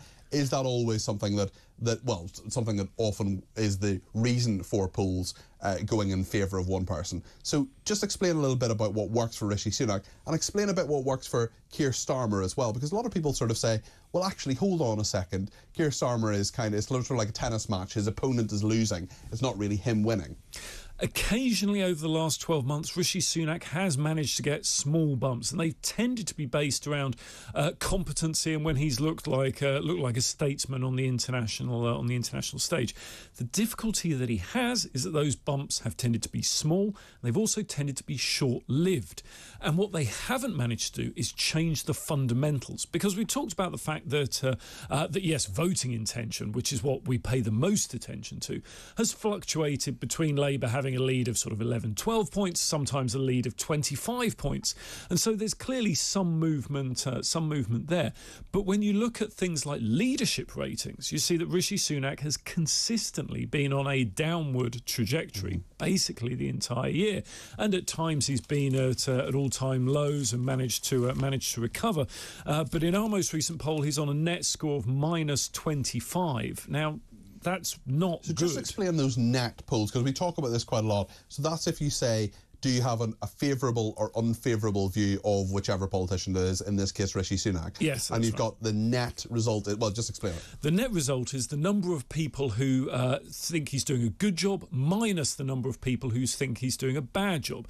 Now, for comparison, Keir Starmer is on minus three in our most recent polls, and he fluctuates around net zero, uh, which is uh, which is ironic given all the focus on that and the environment. But uh, but that's actually by historical standards quite a good score. It's no Tony Blair in the run up to 1997, but it's still a good score. Rishi Sunak minus 25. That means 25% more people think he's doing a bad job than a good job, and that's not a good situation to be in. To be not just that low, but that much lower than your opponent is problematic. But for me, the most interesting figure across the entire year has actually been one that's sometimes hidden further down the uh, polls, and that's who's best on the economy. So, which party do you trust to manage the economic And circumstances? three of the five uh, pledges that Rishi Sunak says he wants to be judged on on the 4th of January are on the economy. And the reason for that is that it's such an important issue. When you ask people, what's the most important issue facing the country? What's the most important issue facing you and your family? It comes top by some distance. So this is interesting because we, uh, a lot of our viewers and listeners really, really care about immigration. They really care about small boats. This is a discussion we have fairly often on this program. But in your polling and generally, what immigration isn't always the biggest issue. It's the economy. You're saying NHS as well. It's not just our polling, it's everybody's polling essentially shows the same story, and that is that the cost of living comes top by some distance. You then have a second tier of issues, which includes the economy generally, which some people don't include, some people don't separate out from the cost of living, but also the NHS.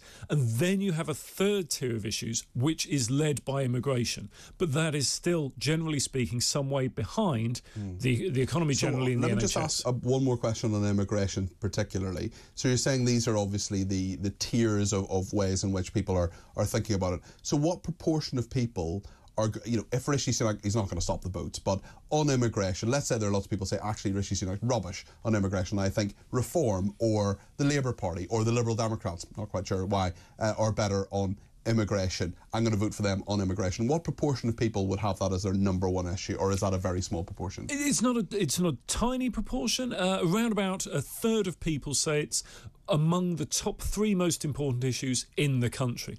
But there are very few people who will say, I'm not, I stopped voting Conservative because my mortgage rates increased significantly, my energy bills doubled. But now that I've heard Rishi Sunak has said something about small boats, I'm back voting Yeah. Conservative. Those people are very, very small. That doesn't mean that immigration isn't important to millions of people, but it's the relative importance versus the absolute importance. In other words, how it compares to other issues rather than how important it is on its own that determines whether people uh, vote just based on that or not. Let me ask you as well. We have a lot of people who feel that polling isn't representative, that they they've never been asked, and they don't know anybody who's ever been asked these questions about what's important for the country, what's important to you and your family. And there are people who really don't uh, believe polls, quite frankly. Uh, you obviously work within rules. Um, tell us a little bit about how the process actually works. Because are you are you ringing people up? Are you polling them online? What what what is what's the sort of both the, the sort of macro bit and the nitty gritty of how polling works? Well, in general terms, most polls nowadays are conducted online, and people register to take part in surveys generally. And so, anyone who do- hasn't been contacted and desperately wants to be can go onto many polling sites and register to take part in those surveys. But you are then contacted by the company when they want to take uh, when they want to ask you questions, and they will base that based on what we call a representative sample, the right number of old people, young people, men, women, uh, people living in the south of England, people living in the north, people who voted for Brexit, people who voted Remain, people who voted Conservative, people who voted Labour, etc., etc., to ensure that it is representative of the country as a whole. And many people say, "Well, I've asked all my friends, and they all think that this subject is the most important." Or Or they're the, the all one, I, always, I, one I often get is, well, Facebook says this, or Facebook has told me this. Facebook is curated as an algorithm. It, they'll tell you what you want to hear. If you click on something, it'll give you more of it as well. So there are people on all sides of the political debate who are in a bit of an echo chamber sometimes. That's right, and and we tend to be friends with people who have similar views to ourselves, not a broad representative sample of the uh, of the population. And some people will say you only speak to a thousand people. That's not uh, that's not enough. But the theory behind that is to do with sampling, and it's like uh, one way to think about it is like a bowl of soup. If you have a big bowl of soup, and providing that soup is mixed sufficiently, you only need to take a teaspoon of that soup in order to fi- work out what taste it is.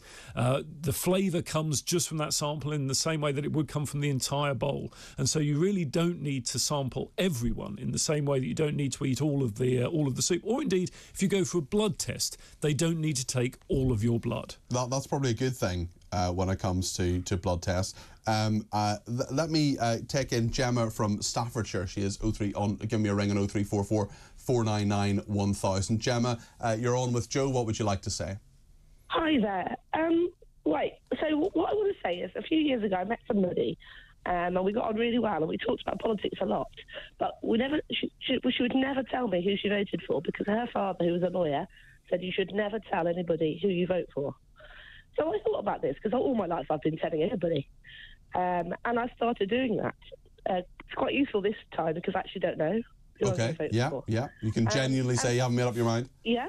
And then I have a lot of young friends um, who, when I tell them, I sort of play around and say, oh, I might vote Labour this year, or I might vote Green this year, or whatever. They say, oh, why would you vote for them? They're not going to win. And there's more than one one of my friends who said that to me over They, they, they, they, they don't want me to vote for this, this party because that party is not going to win. Now, that is the most basic way of looking at politics that's going on, and it's mm-hmm. rife. It's rife among the young community, the community of people who feel disenfranchised by previous governments and current government. They don't want to be associated with a losing side. Now, that is so immature and so sad, right? That it makes me it makes me upset. So I so I do try now and sort of say, look, I hate this government. I think they're awful. It's not because they're conservative. It's because they're they've been rubbish. They have not been good enough. And then we've got this load of other parties who look and present themselves quite well, like Reform, very well presented, Labour, much better presented than previously. Um, Lib Dems, not sure, but probably nothing too bad about them that we've heard. But the, it, it, it seems to me that, that the people in power do not know what they're doing, and it falls to the electorate to tell them what they want. And the electorate doesn't know either, and that's a very frightening and sad situation. And I just wonder whether polling, what's the point of it? And I'd like to ask that man, Joe, what? Okay, is Joe. it What is the, what is the point of polling? Uh, well, it provides a feedback for the government uh, in a way that we hope is an accurate reflection of what the public think, uh, in a way that is only otherwise possible at general uh, at general elections and by-elections. And the reason that's important is because if you don't have that, you have people who will come on to uh, come on to shows like this, and indeed uh, speak in newspapers and various other things, saying this is what the public think, and it just so happens that it uh, aligns precisely with my own personal views. Uh, and so we provide, or at least we try to provide, good polling will try to provide a neutral, representative view of what the British public thinks so that people can react to that. Now, it doesn't mean that they necessarily need to follow it, uh, but it means that they're aware of the consequences of, uh, of their actions. If they adopt a policy that is not popular, they should be aware that it is not popular. And, uh, and I think we provide a good service in that respect. Um, Leslie has been in touch and said, How can Labour be ahead? Uh, Starmer hasn't come forward with any policies. It's not a done deal for Labour. Do you think it's a done deal for Labour, Joe? I don't think anything can be guaranteed. If the last 10 years have taught us anything in British politics, it's that nothing is outside the realms of possibility. Labour still need to get 124 gains at the next election, whenever that may be. By historical standards, that's enormous. It's only been achieved once in the British post war period, and that was under Tony Blair in 1997. And so we would have to have a 1997 type performance just to get a majority of two. And uh, and so it's it is a big challenge, Big task, yeah. but uh, but nonetheless, Labour are consistently doing very well. On the most recent polls, uh, Labour would expect a majority of 142, just based on uh, on basic estimates around uh, around swing. David is in Glasgow, has given us a call 0344 499 1000. David, what would you like to say? Peter, I hope you're well today. I'm very well. How are you? Good, good, excellent. Yes, I mean, so we're sitting here again looking at this election next year. We've got Labour and Conservative, which I would say as a as a voter is not really that appealing. Okay, in Yeah. Scotland we've got this third option of the SNP, and again with all the difficulties they've had, that becomes less appealing. So, the issue that I've got is we're now facing this election with really not much of a choice. And when does the time come till we can actually take other parties, smaller ones perhaps, and give them a, a good fighting chance of at least getting one or two MPs? Because if we go and vote for those parties this time around, the chances are they're just not going to get in. And, and we need to shake up politics in the UK. Okay, so who do you think, who- who's your uh, vote going to go to, do you think, if you don't mind me asking? I, I, I struggle, Peter. I mean, I, I, I, I, I, I would doubt I would ever vote for Conservative. Uh, I used to vote for Labour. I became disillusioned with Labour and I voted to SNP. Uh, the SNP are now struggling, so I'm kind of like thinking, well, where do I go as a voter now? I would love to go to a another party who's smaller and pro- pro- you know more progressive and probably going to be challenging the system a lot more. But look at reform, for instance, in the last election, they got over a million votes and got no MPs. Yeah, well, indeed. And that- actually, let me hold that thought, David, because I want to ask um, Joe actually about Reform UK because there are a lot. I mean, they're doing really well in some polls, eleven percent, twelve percent. But in the last uh, council election, Reform UK only got uh, six extra councillors. So, um, and it looks as if the way because of the the spread of voting, although you can tell us you're the expert, it doesn't look as if reform will necessarily get any MPs. Even, I mean, how is that even possible with a the first past the post system? Of course, stops them, but 11 or 12 percent. There are many, maybe many people saying, well, is that a wasted vote if you vote for Reform UK? Uh, well, it depends on what you want your vote to be. If you want it to make a difference in your constituency, it may indeed make uh, make a difference because it may uh, it may take votes away from the Conservatives, for instance, which could let uh, let Labour in, or indeed the opposite, depending on uh, depending on how you voted uh, voted last time. They're averaging around about eight or nine percent. In our most recent polls, they're on they're on nine percent, and so that's certainly an increase on where they uh, are and where they have been. It's worth pointing out the Greens have been doing uh, doing well as uh, as well. But when it comes to by-elections, for instance, reform consistently are around about uh, around about five percent, and I think I think the difficulty they have really breaking through will be partly, uh, and well, I say partly, and it's a big part, the electoral system, as you talk about. Yeah. They, they may well come uh, second or third in a lot of constituencies, but I think it's highly unlikely they will win any. Uh, but part of the problem is they don't really have a particularly well established set of policies around, particularly the economy, which, as mentioned, is the most important uh, is the most important issue. Um, in, in previous guises, whether it's the Brexit Party or UKIP, however you want to characterise it, the answer to so many questions was. We'll leave the EU, Mm. uh, and so how are you going to lower taxes? We'll leave the EU, and that Well, will that's, give more that's a question for Starmer as well. We've got someone in touch about this saying if, he, if Starmer inflicts on the country a party that wants trans rights closer to the EU, for immigration, climate nonsense, that's something that someone's been in touch with. Terry in Birmingham also says, why bother to vote when the civil servants and judiciary decide what happens? These all happen to be lefty woke liberals. Happy New Year, says Terry in Birmingham. Well, Happy New Year to you as well, Terry, and a happy very New Year to Joe Twyman as well, the co-founder of Deltapoll. So thank you to him as well. We're going to take more calls on XL bullies uh, as well. There are loads of people just want to get in on this topic. It's a big debate today. The legislation changing from midnight. If you have an XL bully, you've got to get it registered. That costs £92. And then from February, uh, basically a ban on XL bullies as well. It's a very, very big topic, and we're going to talk about that uh, as well. And thank you to lots of people who've been in touch, including Rick in Sutton Coldfield in Birmingham, who says, um, uh, Peter, this breed has been responsible for half, 12 of all dog attacks in the UK, uh, dog deaths in the UK in the past uh, three years. I'm not sure of the exact statistics on that. We've had different people saying different things. I'll check that during the break. How the dickens can these dog lovers bleed about the ban? Banning them will save countless lives. Um, uh, Ian says, I think the entire country is thinking, what's the point in voting? Because once elected, no party carries out the policies they were elected on. Brexit and immigration are two huge examples. And uh, Frank on Twitter says, I'm not sure there is such a thing as a responsible dog owner, just degrees of irresponsibility.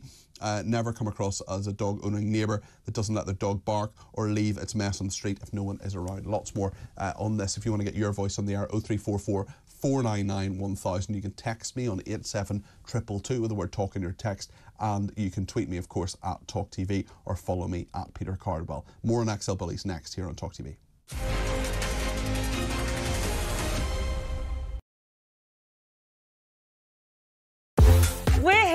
Thanks for joining us. You're with Talk TV on TV, on radio, online. We're on your smart speaker as well. criminals to using XL bully dogs as weapons to threaten others. No matter how well trained, most dog owners will tell you a dog can turn. Do you know what I love about Talk Today? We do it all. Sunak, Suella, scones. I rather like David Cameron. I don't sort of bear him any ill will because he delivered the referendum that he said he would deliver.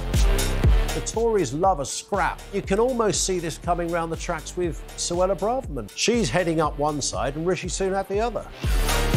The police are pro Palestine. That is just not right. You swear an oath in the police to act without fear or favour.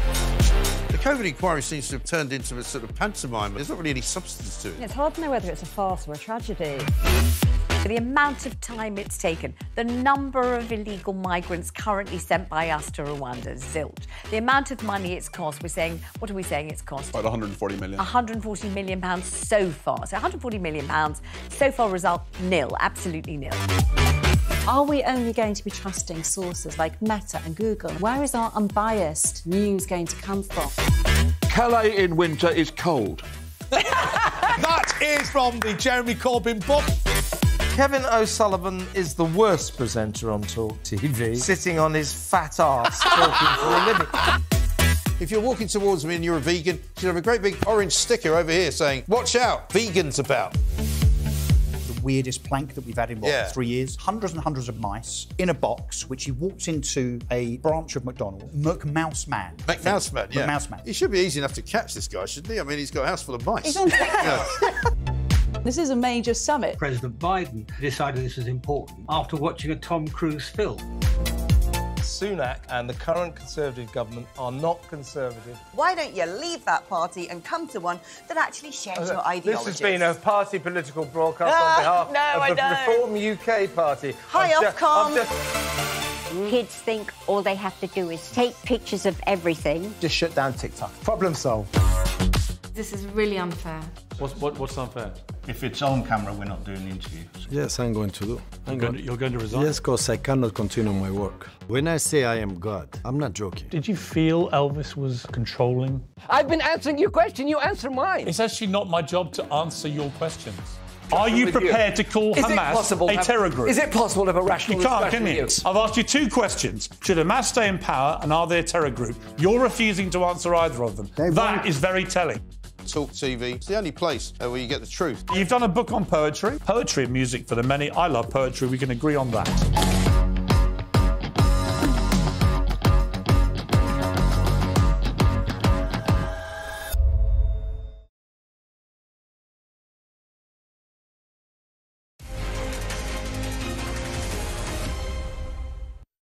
Well, thank you so much for all your calls, texts, and tweets today. It is, of course, New Year's Eve, and uh, I just want to wish everybody a very happy New Year, uh, which I will do again tomorrow between 7 and 10. I am presenting the breakfast programme.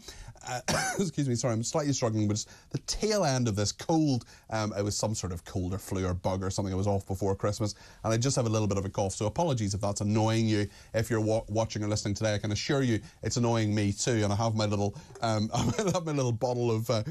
Uh, cough syrup, which I've been taking, but actually, um, Dr. Renee earlier has uh, given me some extra th- or suggestions anyway of something to take. That's enough about my throat. Anyway, th- and, and let's go to your throats and your calls and your voice boxes. Ricky is in Kent, who's given me a call on 0344 499 Your 1000. recording was a bit too long. Oh. To re-record, press 1. To listen to your message again, press 2. There we are. Well, we've given Ricky a call, um, and uh, apparently our recording was a bit too long. Uh, so there we are. Perhaps we can get another caller up uh, to talk about that. But um, it was nice talking to the O2 woman for a minute or two. I mean, she is she has a role to play in the national discourse as well. Um, but uh, we will get another caller up anyway to talk about uh, what is happening. Uh, we've lots of people getting in touch as well about uh, about oh goodness, this is a very long text actually about XL bullies. Uh, it's always the bad owners and backyard breeders, this person says, causing these issues, which now they've conveniently dumped or rehomed these dogs and moved on to another breed. This will not stop dog attacks in the UK since the Dangerous Dog Act was brought in in 1991. Uh, on the politics as well, a few people getting in touch. Barry says Reform UK, is, his biggest obstacle is Richard Tice, its leader, according to Barry. He is no different from Starmer and Sunak. He lacks the common touch. Nigel Farage is a much better candidate for leader, says uh, Barry. Well, I think Um, first of all, I like Richard Tice. He's a former colleague here at Talk TV. Um, I don't know if he'd call me a friend, but we're certainly good colleagues, and I need to kind of declare that. But uh, certainly, there are many people, including me, who, I don't think Richard would be, be too upset about this, who uh, would be clear that Nigel Farage is a very charismatic person who connects with people in a way that very few politicians do. And uh, I think my personal view is that Nigel Farage will play a much, much bigger role in uh, Reform UK's uh, campaigning in 2024. I think that I'm a Celebrity Get Me Out of Here was a, a huge thing for him, uh, went pretty well for him as well, and I think that he'll be back. He is, I think, the, the president or the, the sort of honorary chairman, something like that, of uh, Reform UK, and I can see him having a very, very big role because he is, he is one of the most instantly recognisable people in the country. Ricky and Kent is back. We've lost the O2 woman. Uh, Ricky, we got through to your answer phone, but now we've got you, Ricky. So, what are your thoughts on XL Bullies? Thanks for your call and welcome to the programme. Hello. Um, yeah, it's my first time call. I've called LBC a few times, but it's the first time I've called here. Well, you've come Um, to the right place. Yes, definitely. We watch it all the time. Um, we've got a pet shop in Lewisham, um, and it's um, got lots of XL Bully owners. Um, I've got my own dog food that I made myself, and I have an XL Bully on the front, which is a friend of mine's dog. Okay, Um, it's on it's on the pet food. it's actually on the front of our pet food, our Okay. own design with his XL on it. Um, we've got hundreds of people with XLs, and 99% of them are lovely. Really lovely dogs, really, really nice. Come in the shop, we give them treats. They're brilliant, absolutely brilliant.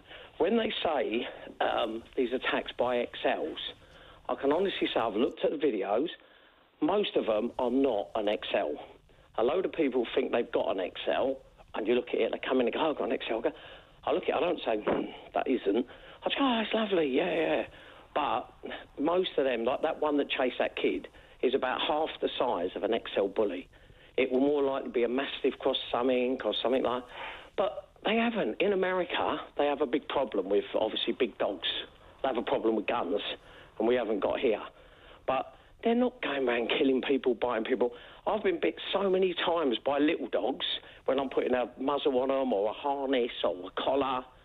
I've never been bit by one of. I've never even had But, one. but if go you were, and I hope you never are, Ricky, Oh, but no, if you were, that, It that, yeah, it would be a very, very different thing, wouldn't it? And a lot of people do have real concerns. I'm sure you're right. You know, you know, you know animals back to front. You've got your pet shop. Um, I know you're a dog owner yourself. You know dogs far better than I do. But there is this fear factor. There are people who will welcome this legislation because they're walking down the street, they see an aggressive-looking dog, not necessarily an XL bully, but an aggressive-looking dog, and they are scared by that. And there are some people who have those dogs because it does make other people scared.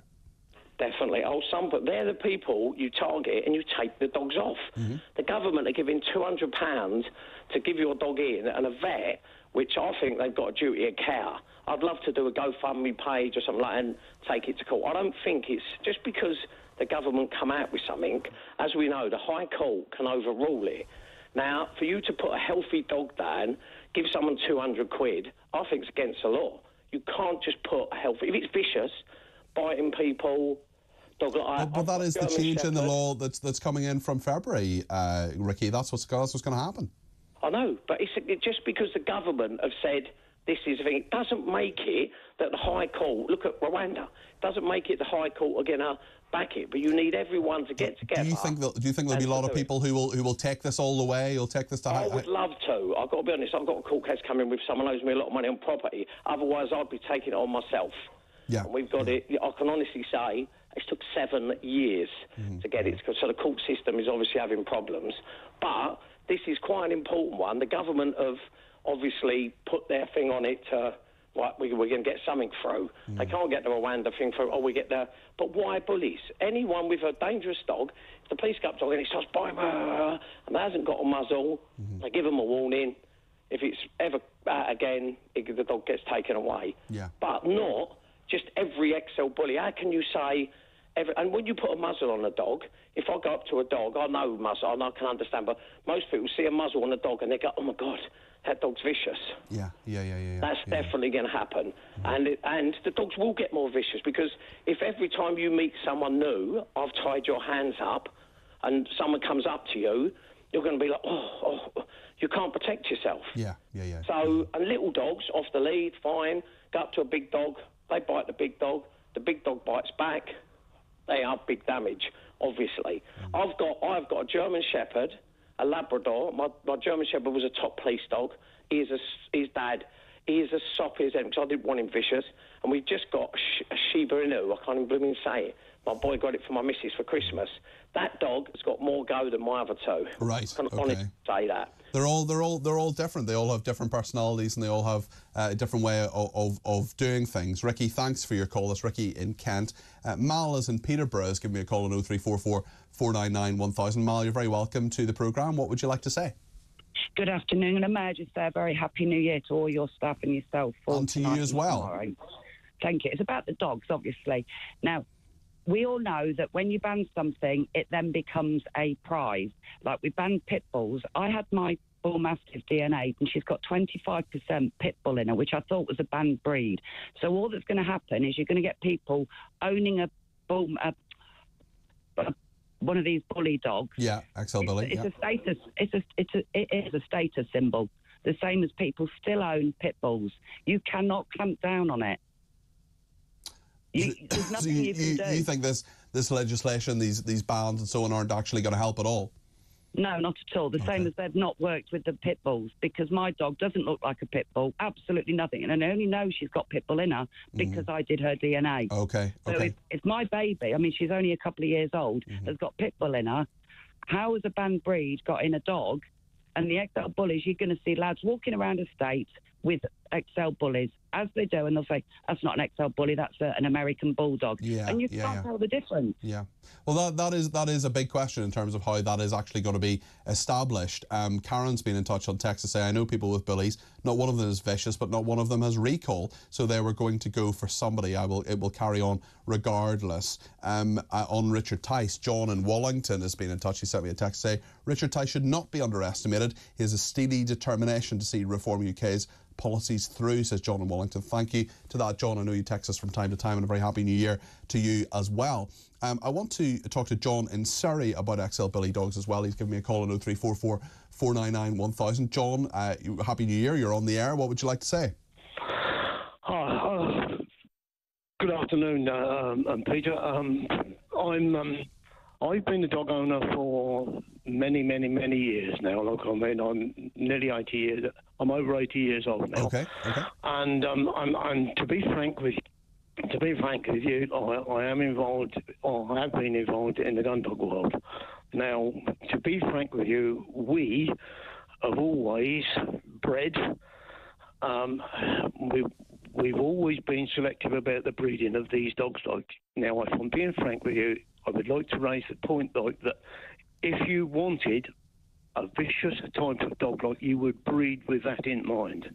Okay. So I feel, so I feel, I feel, in my opinion, in my opinion, though, don't persecute people who, who own the dogs. The people who really should be um, brought into line, like are the people who are breeding this type of animal. Okay. Okay, John, Yeah. thanks for your perspective. Appreciate that. Grant is in Dorset. Uh, Grant, thanks for your call. What would you like to say? Hi, uh, Peter. Just want to wish everybody a happy new year. Um, mine's a bit of a weird, weird story. I've worked in the electronic security industry for 27 years, so that means fitting burglar alarms, CCTV, and all the rest of it. Um, in that 27 years, I've been bitten by 14 dogs. Wow. Okay. One of them was my own fault because I stood on it. Right. So I can't really that. The other 13 have all been little dogs. Uh-huh. Every single one. And I've worked with police dogs, personal protection dogs, um, rescue dogs, vish, inverted commas, vicious dogs. And I've never, honest to God, had a problem. Okay. But but you also accept, Grant, I'm really sorry to hear you've been bitten by 14 dogs. I've never been bitten by a dog. I never want to be bitten by a dog. But but they're all small dogs. So, I mean, in your experience, obviously it's only one person's experience, but you do have a lot of experience of dogs. And, and do you think these XL Bully dogs are being unfairly marginalised? But, I mean, some of the facts are there, Grant, in terms of these deaths that have occurred. Oh, absolutely. I'm not. I'm not trying to because there's been to be two sides. You either hate them or you love them. But you're somewhere in the middle.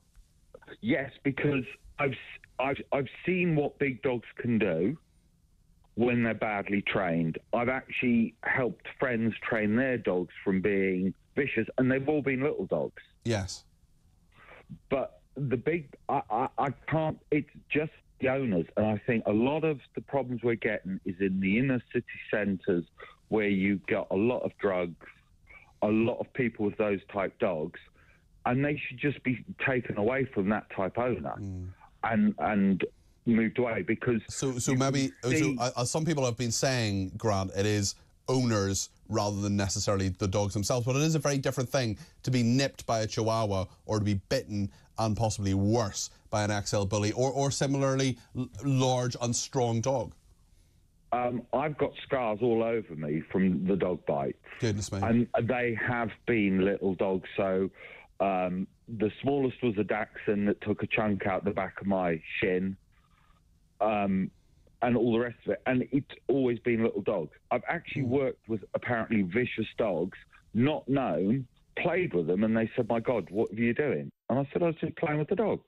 Oh, that's never happened before. Wow. Okay. I don't know. But the thing is, I, I, it's bad owners.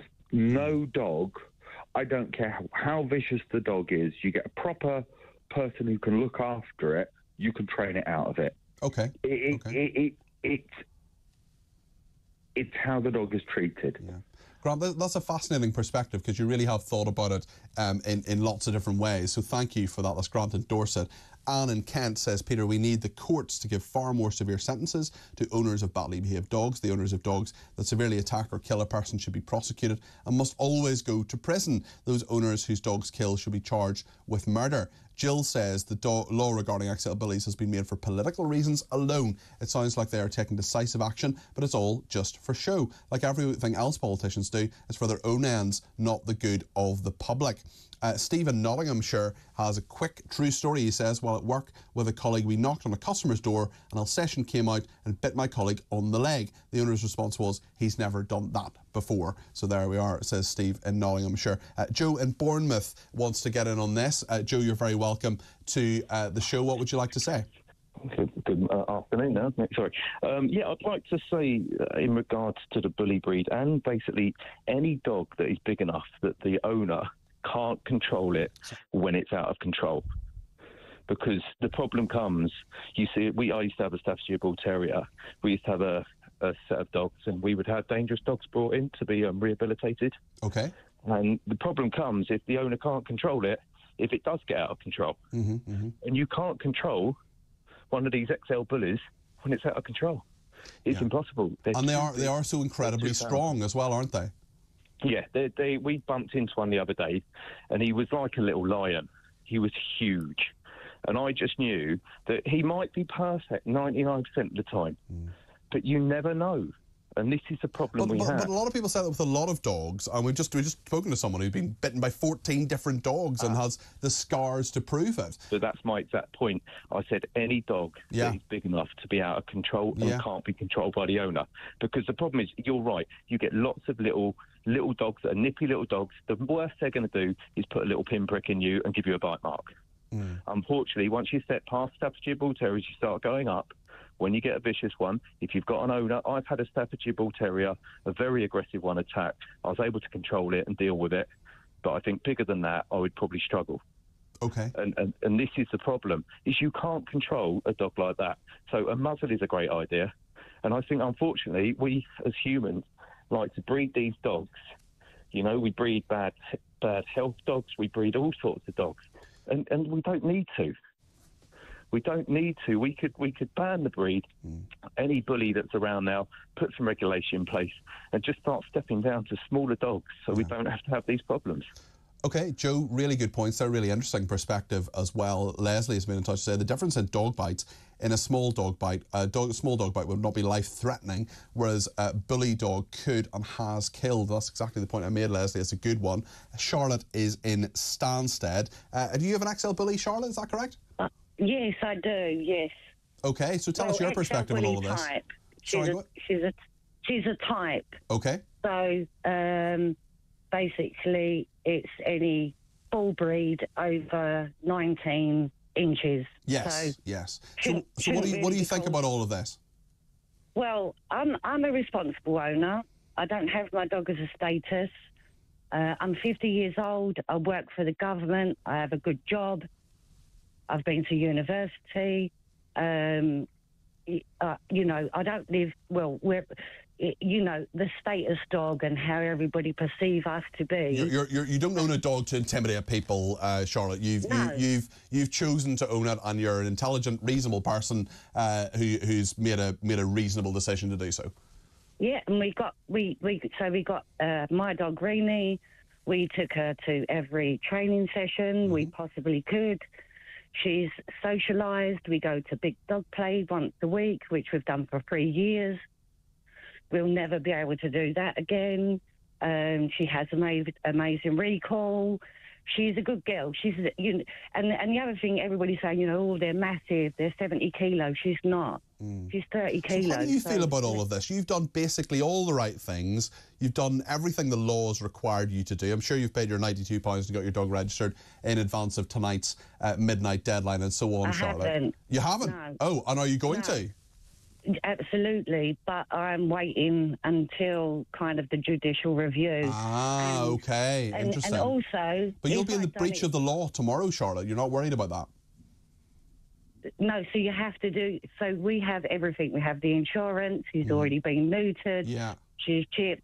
We have it all. She's been out today. She's been on a muzzle. She's been on her lead. So we're being. Interesting. totally responsible. But you're but- waiting for the judicial review, waiting to see what happens.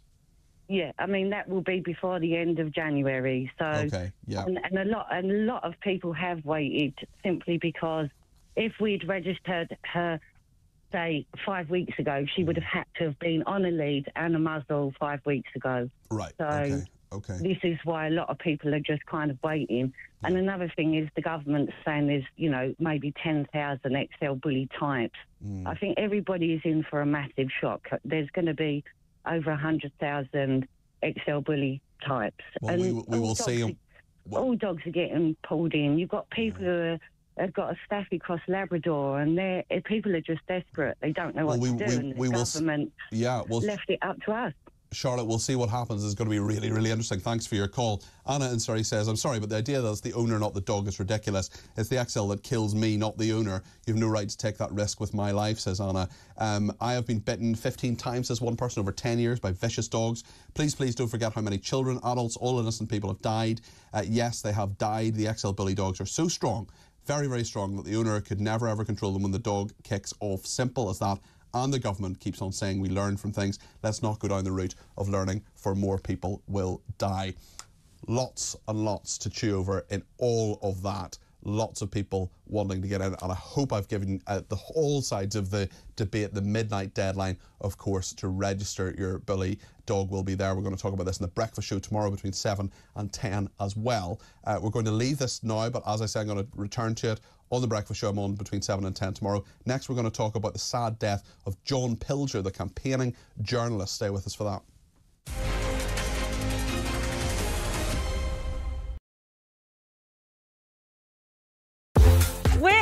Thanks for joining us. You're with Talk TV on TV, on radio, online. We're on your smart speaker as well. Criminals using XL bully dogs as weapons to threaten others. No matter how well trained, most dog owners will tell you a dog can turn. Do you know what I love about Talk Today? We do it all. Sunak, Suella, scones. I rather like David Cameron. I don't sort of bear him any ill will because he delivered the referendum that he said he would deliver. The Tories love a scrap. You can almost see this coming round the tracks with Suella Braverman. She's heading up one side and Rishi Sunak the other. The police are pro Palestine. That is just not right. You swear an oath in the police to act without fear or favour. The COVID inquiry seems to have turned into a sort of pantomime. There's not really any substance to it. It's hard to know whether it's a farce or a tragedy. The amount of time it's taken, the number of illegal migrants currently sent by us to Rwanda, zilch. The amount of money it's cost, we're saying, what are we saying it's cost? About 140 million. 140 million pounds so far. So 140 million pounds so far result nil, absolutely nil. Are we only going to be trusting sources like Meta and Google? Where is our unbiased news going to come from? Calais in winter is cold. that is from the Jeremy Corbyn book. Kevin O'Sullivan is the worst presenter on Talk TV, sitting on his fat ass talking for a living. If you're walking towards me and you're a vegan, you should have a great big orange sticker over here saying, Watch out, vegans about. The weirdest plank that we've had in what, Yeah. three years? Hundreds and hundreds of mice in a box, which he walked into a branch of McDonald's. McMouse Man. McMouse Man, yeah. McMouse Man. He should be easy enough to catch this guy, shouldn't he? I mean, he's got a house full of mice. He's on Yeah. This is a major summit. President Biden decided this was important after watching a Tom Cruise film.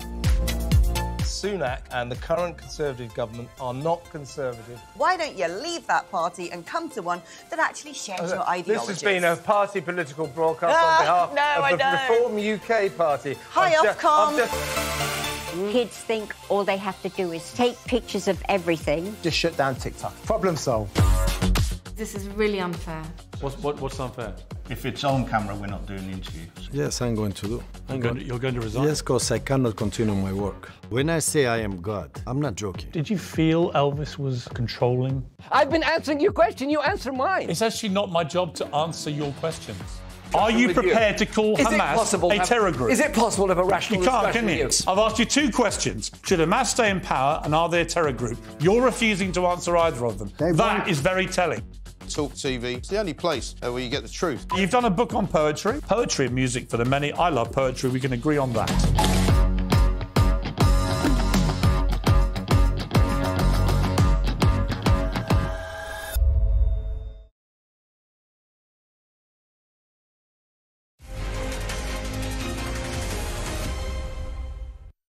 Well, thank you so much for your company today. Um, Nick James and Melton Mowbray has been in touch. He says, Peter, I enjoy your programme and value your opinions as a serious political commentator. Thank you very much indeed.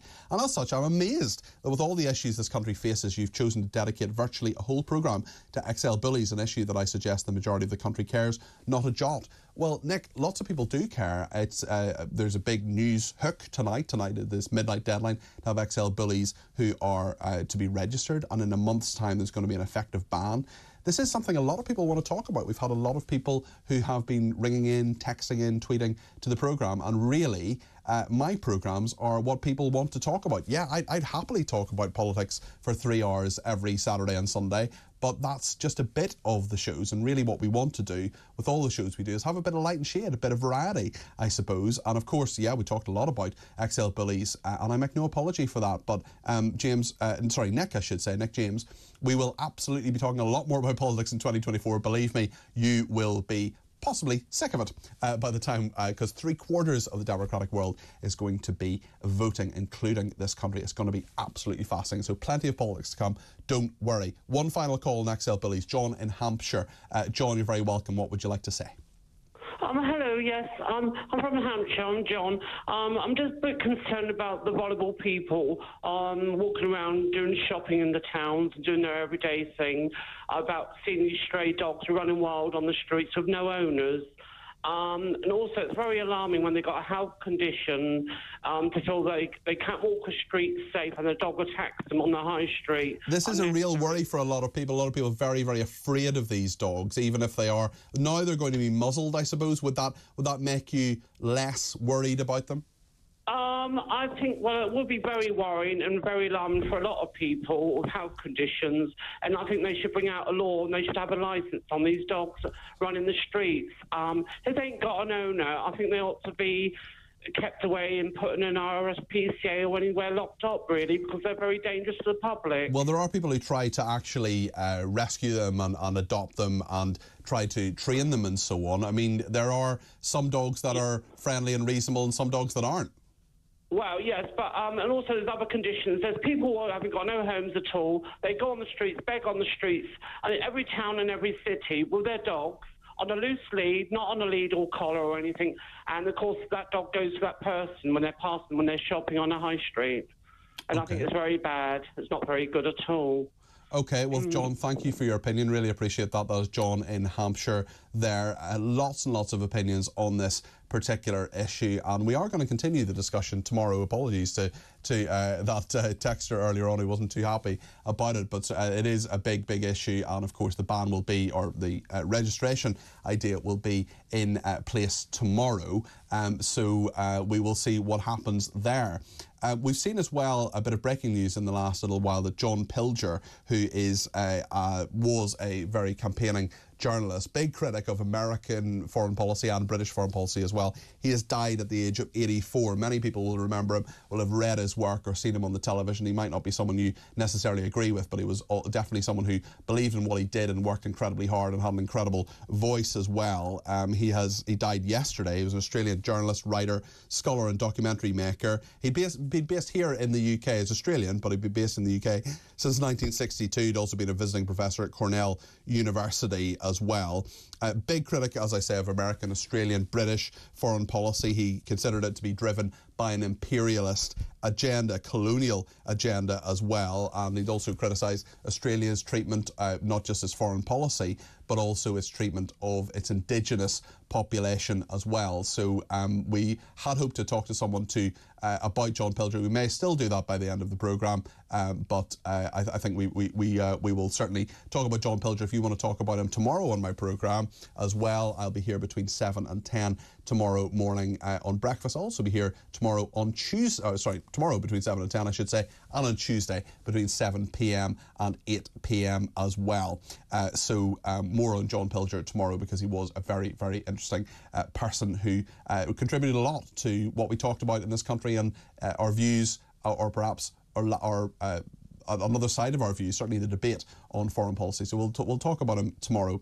But actually, um, one person has texted me, Gemma has texted me, to say, I saw you turn me down, Peter. I just want to say Happy New Year to my favourite political media mind on all fronts. And I thought, Gemma, actually, let's get her back on the air. Uh, Gemma, I'm sorry for turning you down, and uh, we can turn you back up again. And uh, Gemma from Staffordshire is back on the air. Hello. Happy New Year's Eve. Happy New Year's Eve to you. What are you doing tonight, Gemma? Uh, having a nice meal with friends at home. Great stuff. Well, thank you for your very kind sentiments. I really appreciate it. You're welcome. Um, and uh, thank you for being a Thank loyal viewer and listener. Yeah, Talk TV have helped me this year so much. I've been watching from a laptop. I've had no carpet. I had a flood, and I really don't know what I would have done without you, you guys. So Well, happy New Year. That's very kind, Gemma. Very happy New Year to you as well. I really appreciate your uh, your call and your thoughts on that. That's Gemma, who um, I, I we had to move on quickly. I turned her down, but she had her say again. And one person who always has her say is, of course, the marvelous Petrie Hosken. Hello there. What's coming up in your program between one and four? Hello. Oh, fantastic calls you've had on the XL. Yeah, on the XL fascinating, it? Yeah, it's a big, it's a big deal. Um, so for for us, we're going to be looking at because you know I'm big on geopolitics. I Yes, of love, course. I love the geopolitics, and it's it's so fascinating how it all ties in with us. So we're going to be looking at Ukraine and and Russia, and really what is next? Because if we start withdrawing money from Ukraine, and already the Americans have only just signed off some the last tranche of money uh, in Europe. Hungary have said no more money. So what happens? You know, we can't just abandon them, can we? Well, it wouldn't be the first time in the West that we've abandoned a country. So we'll be having a look at that AI uh, and all the fakery that's around. It's fascinating, isn't it? Uh, really, and and also Kim Jong Un because he's prepping for war. In fact, he's just instructed yesterday um, for more nuclear weapons to be made.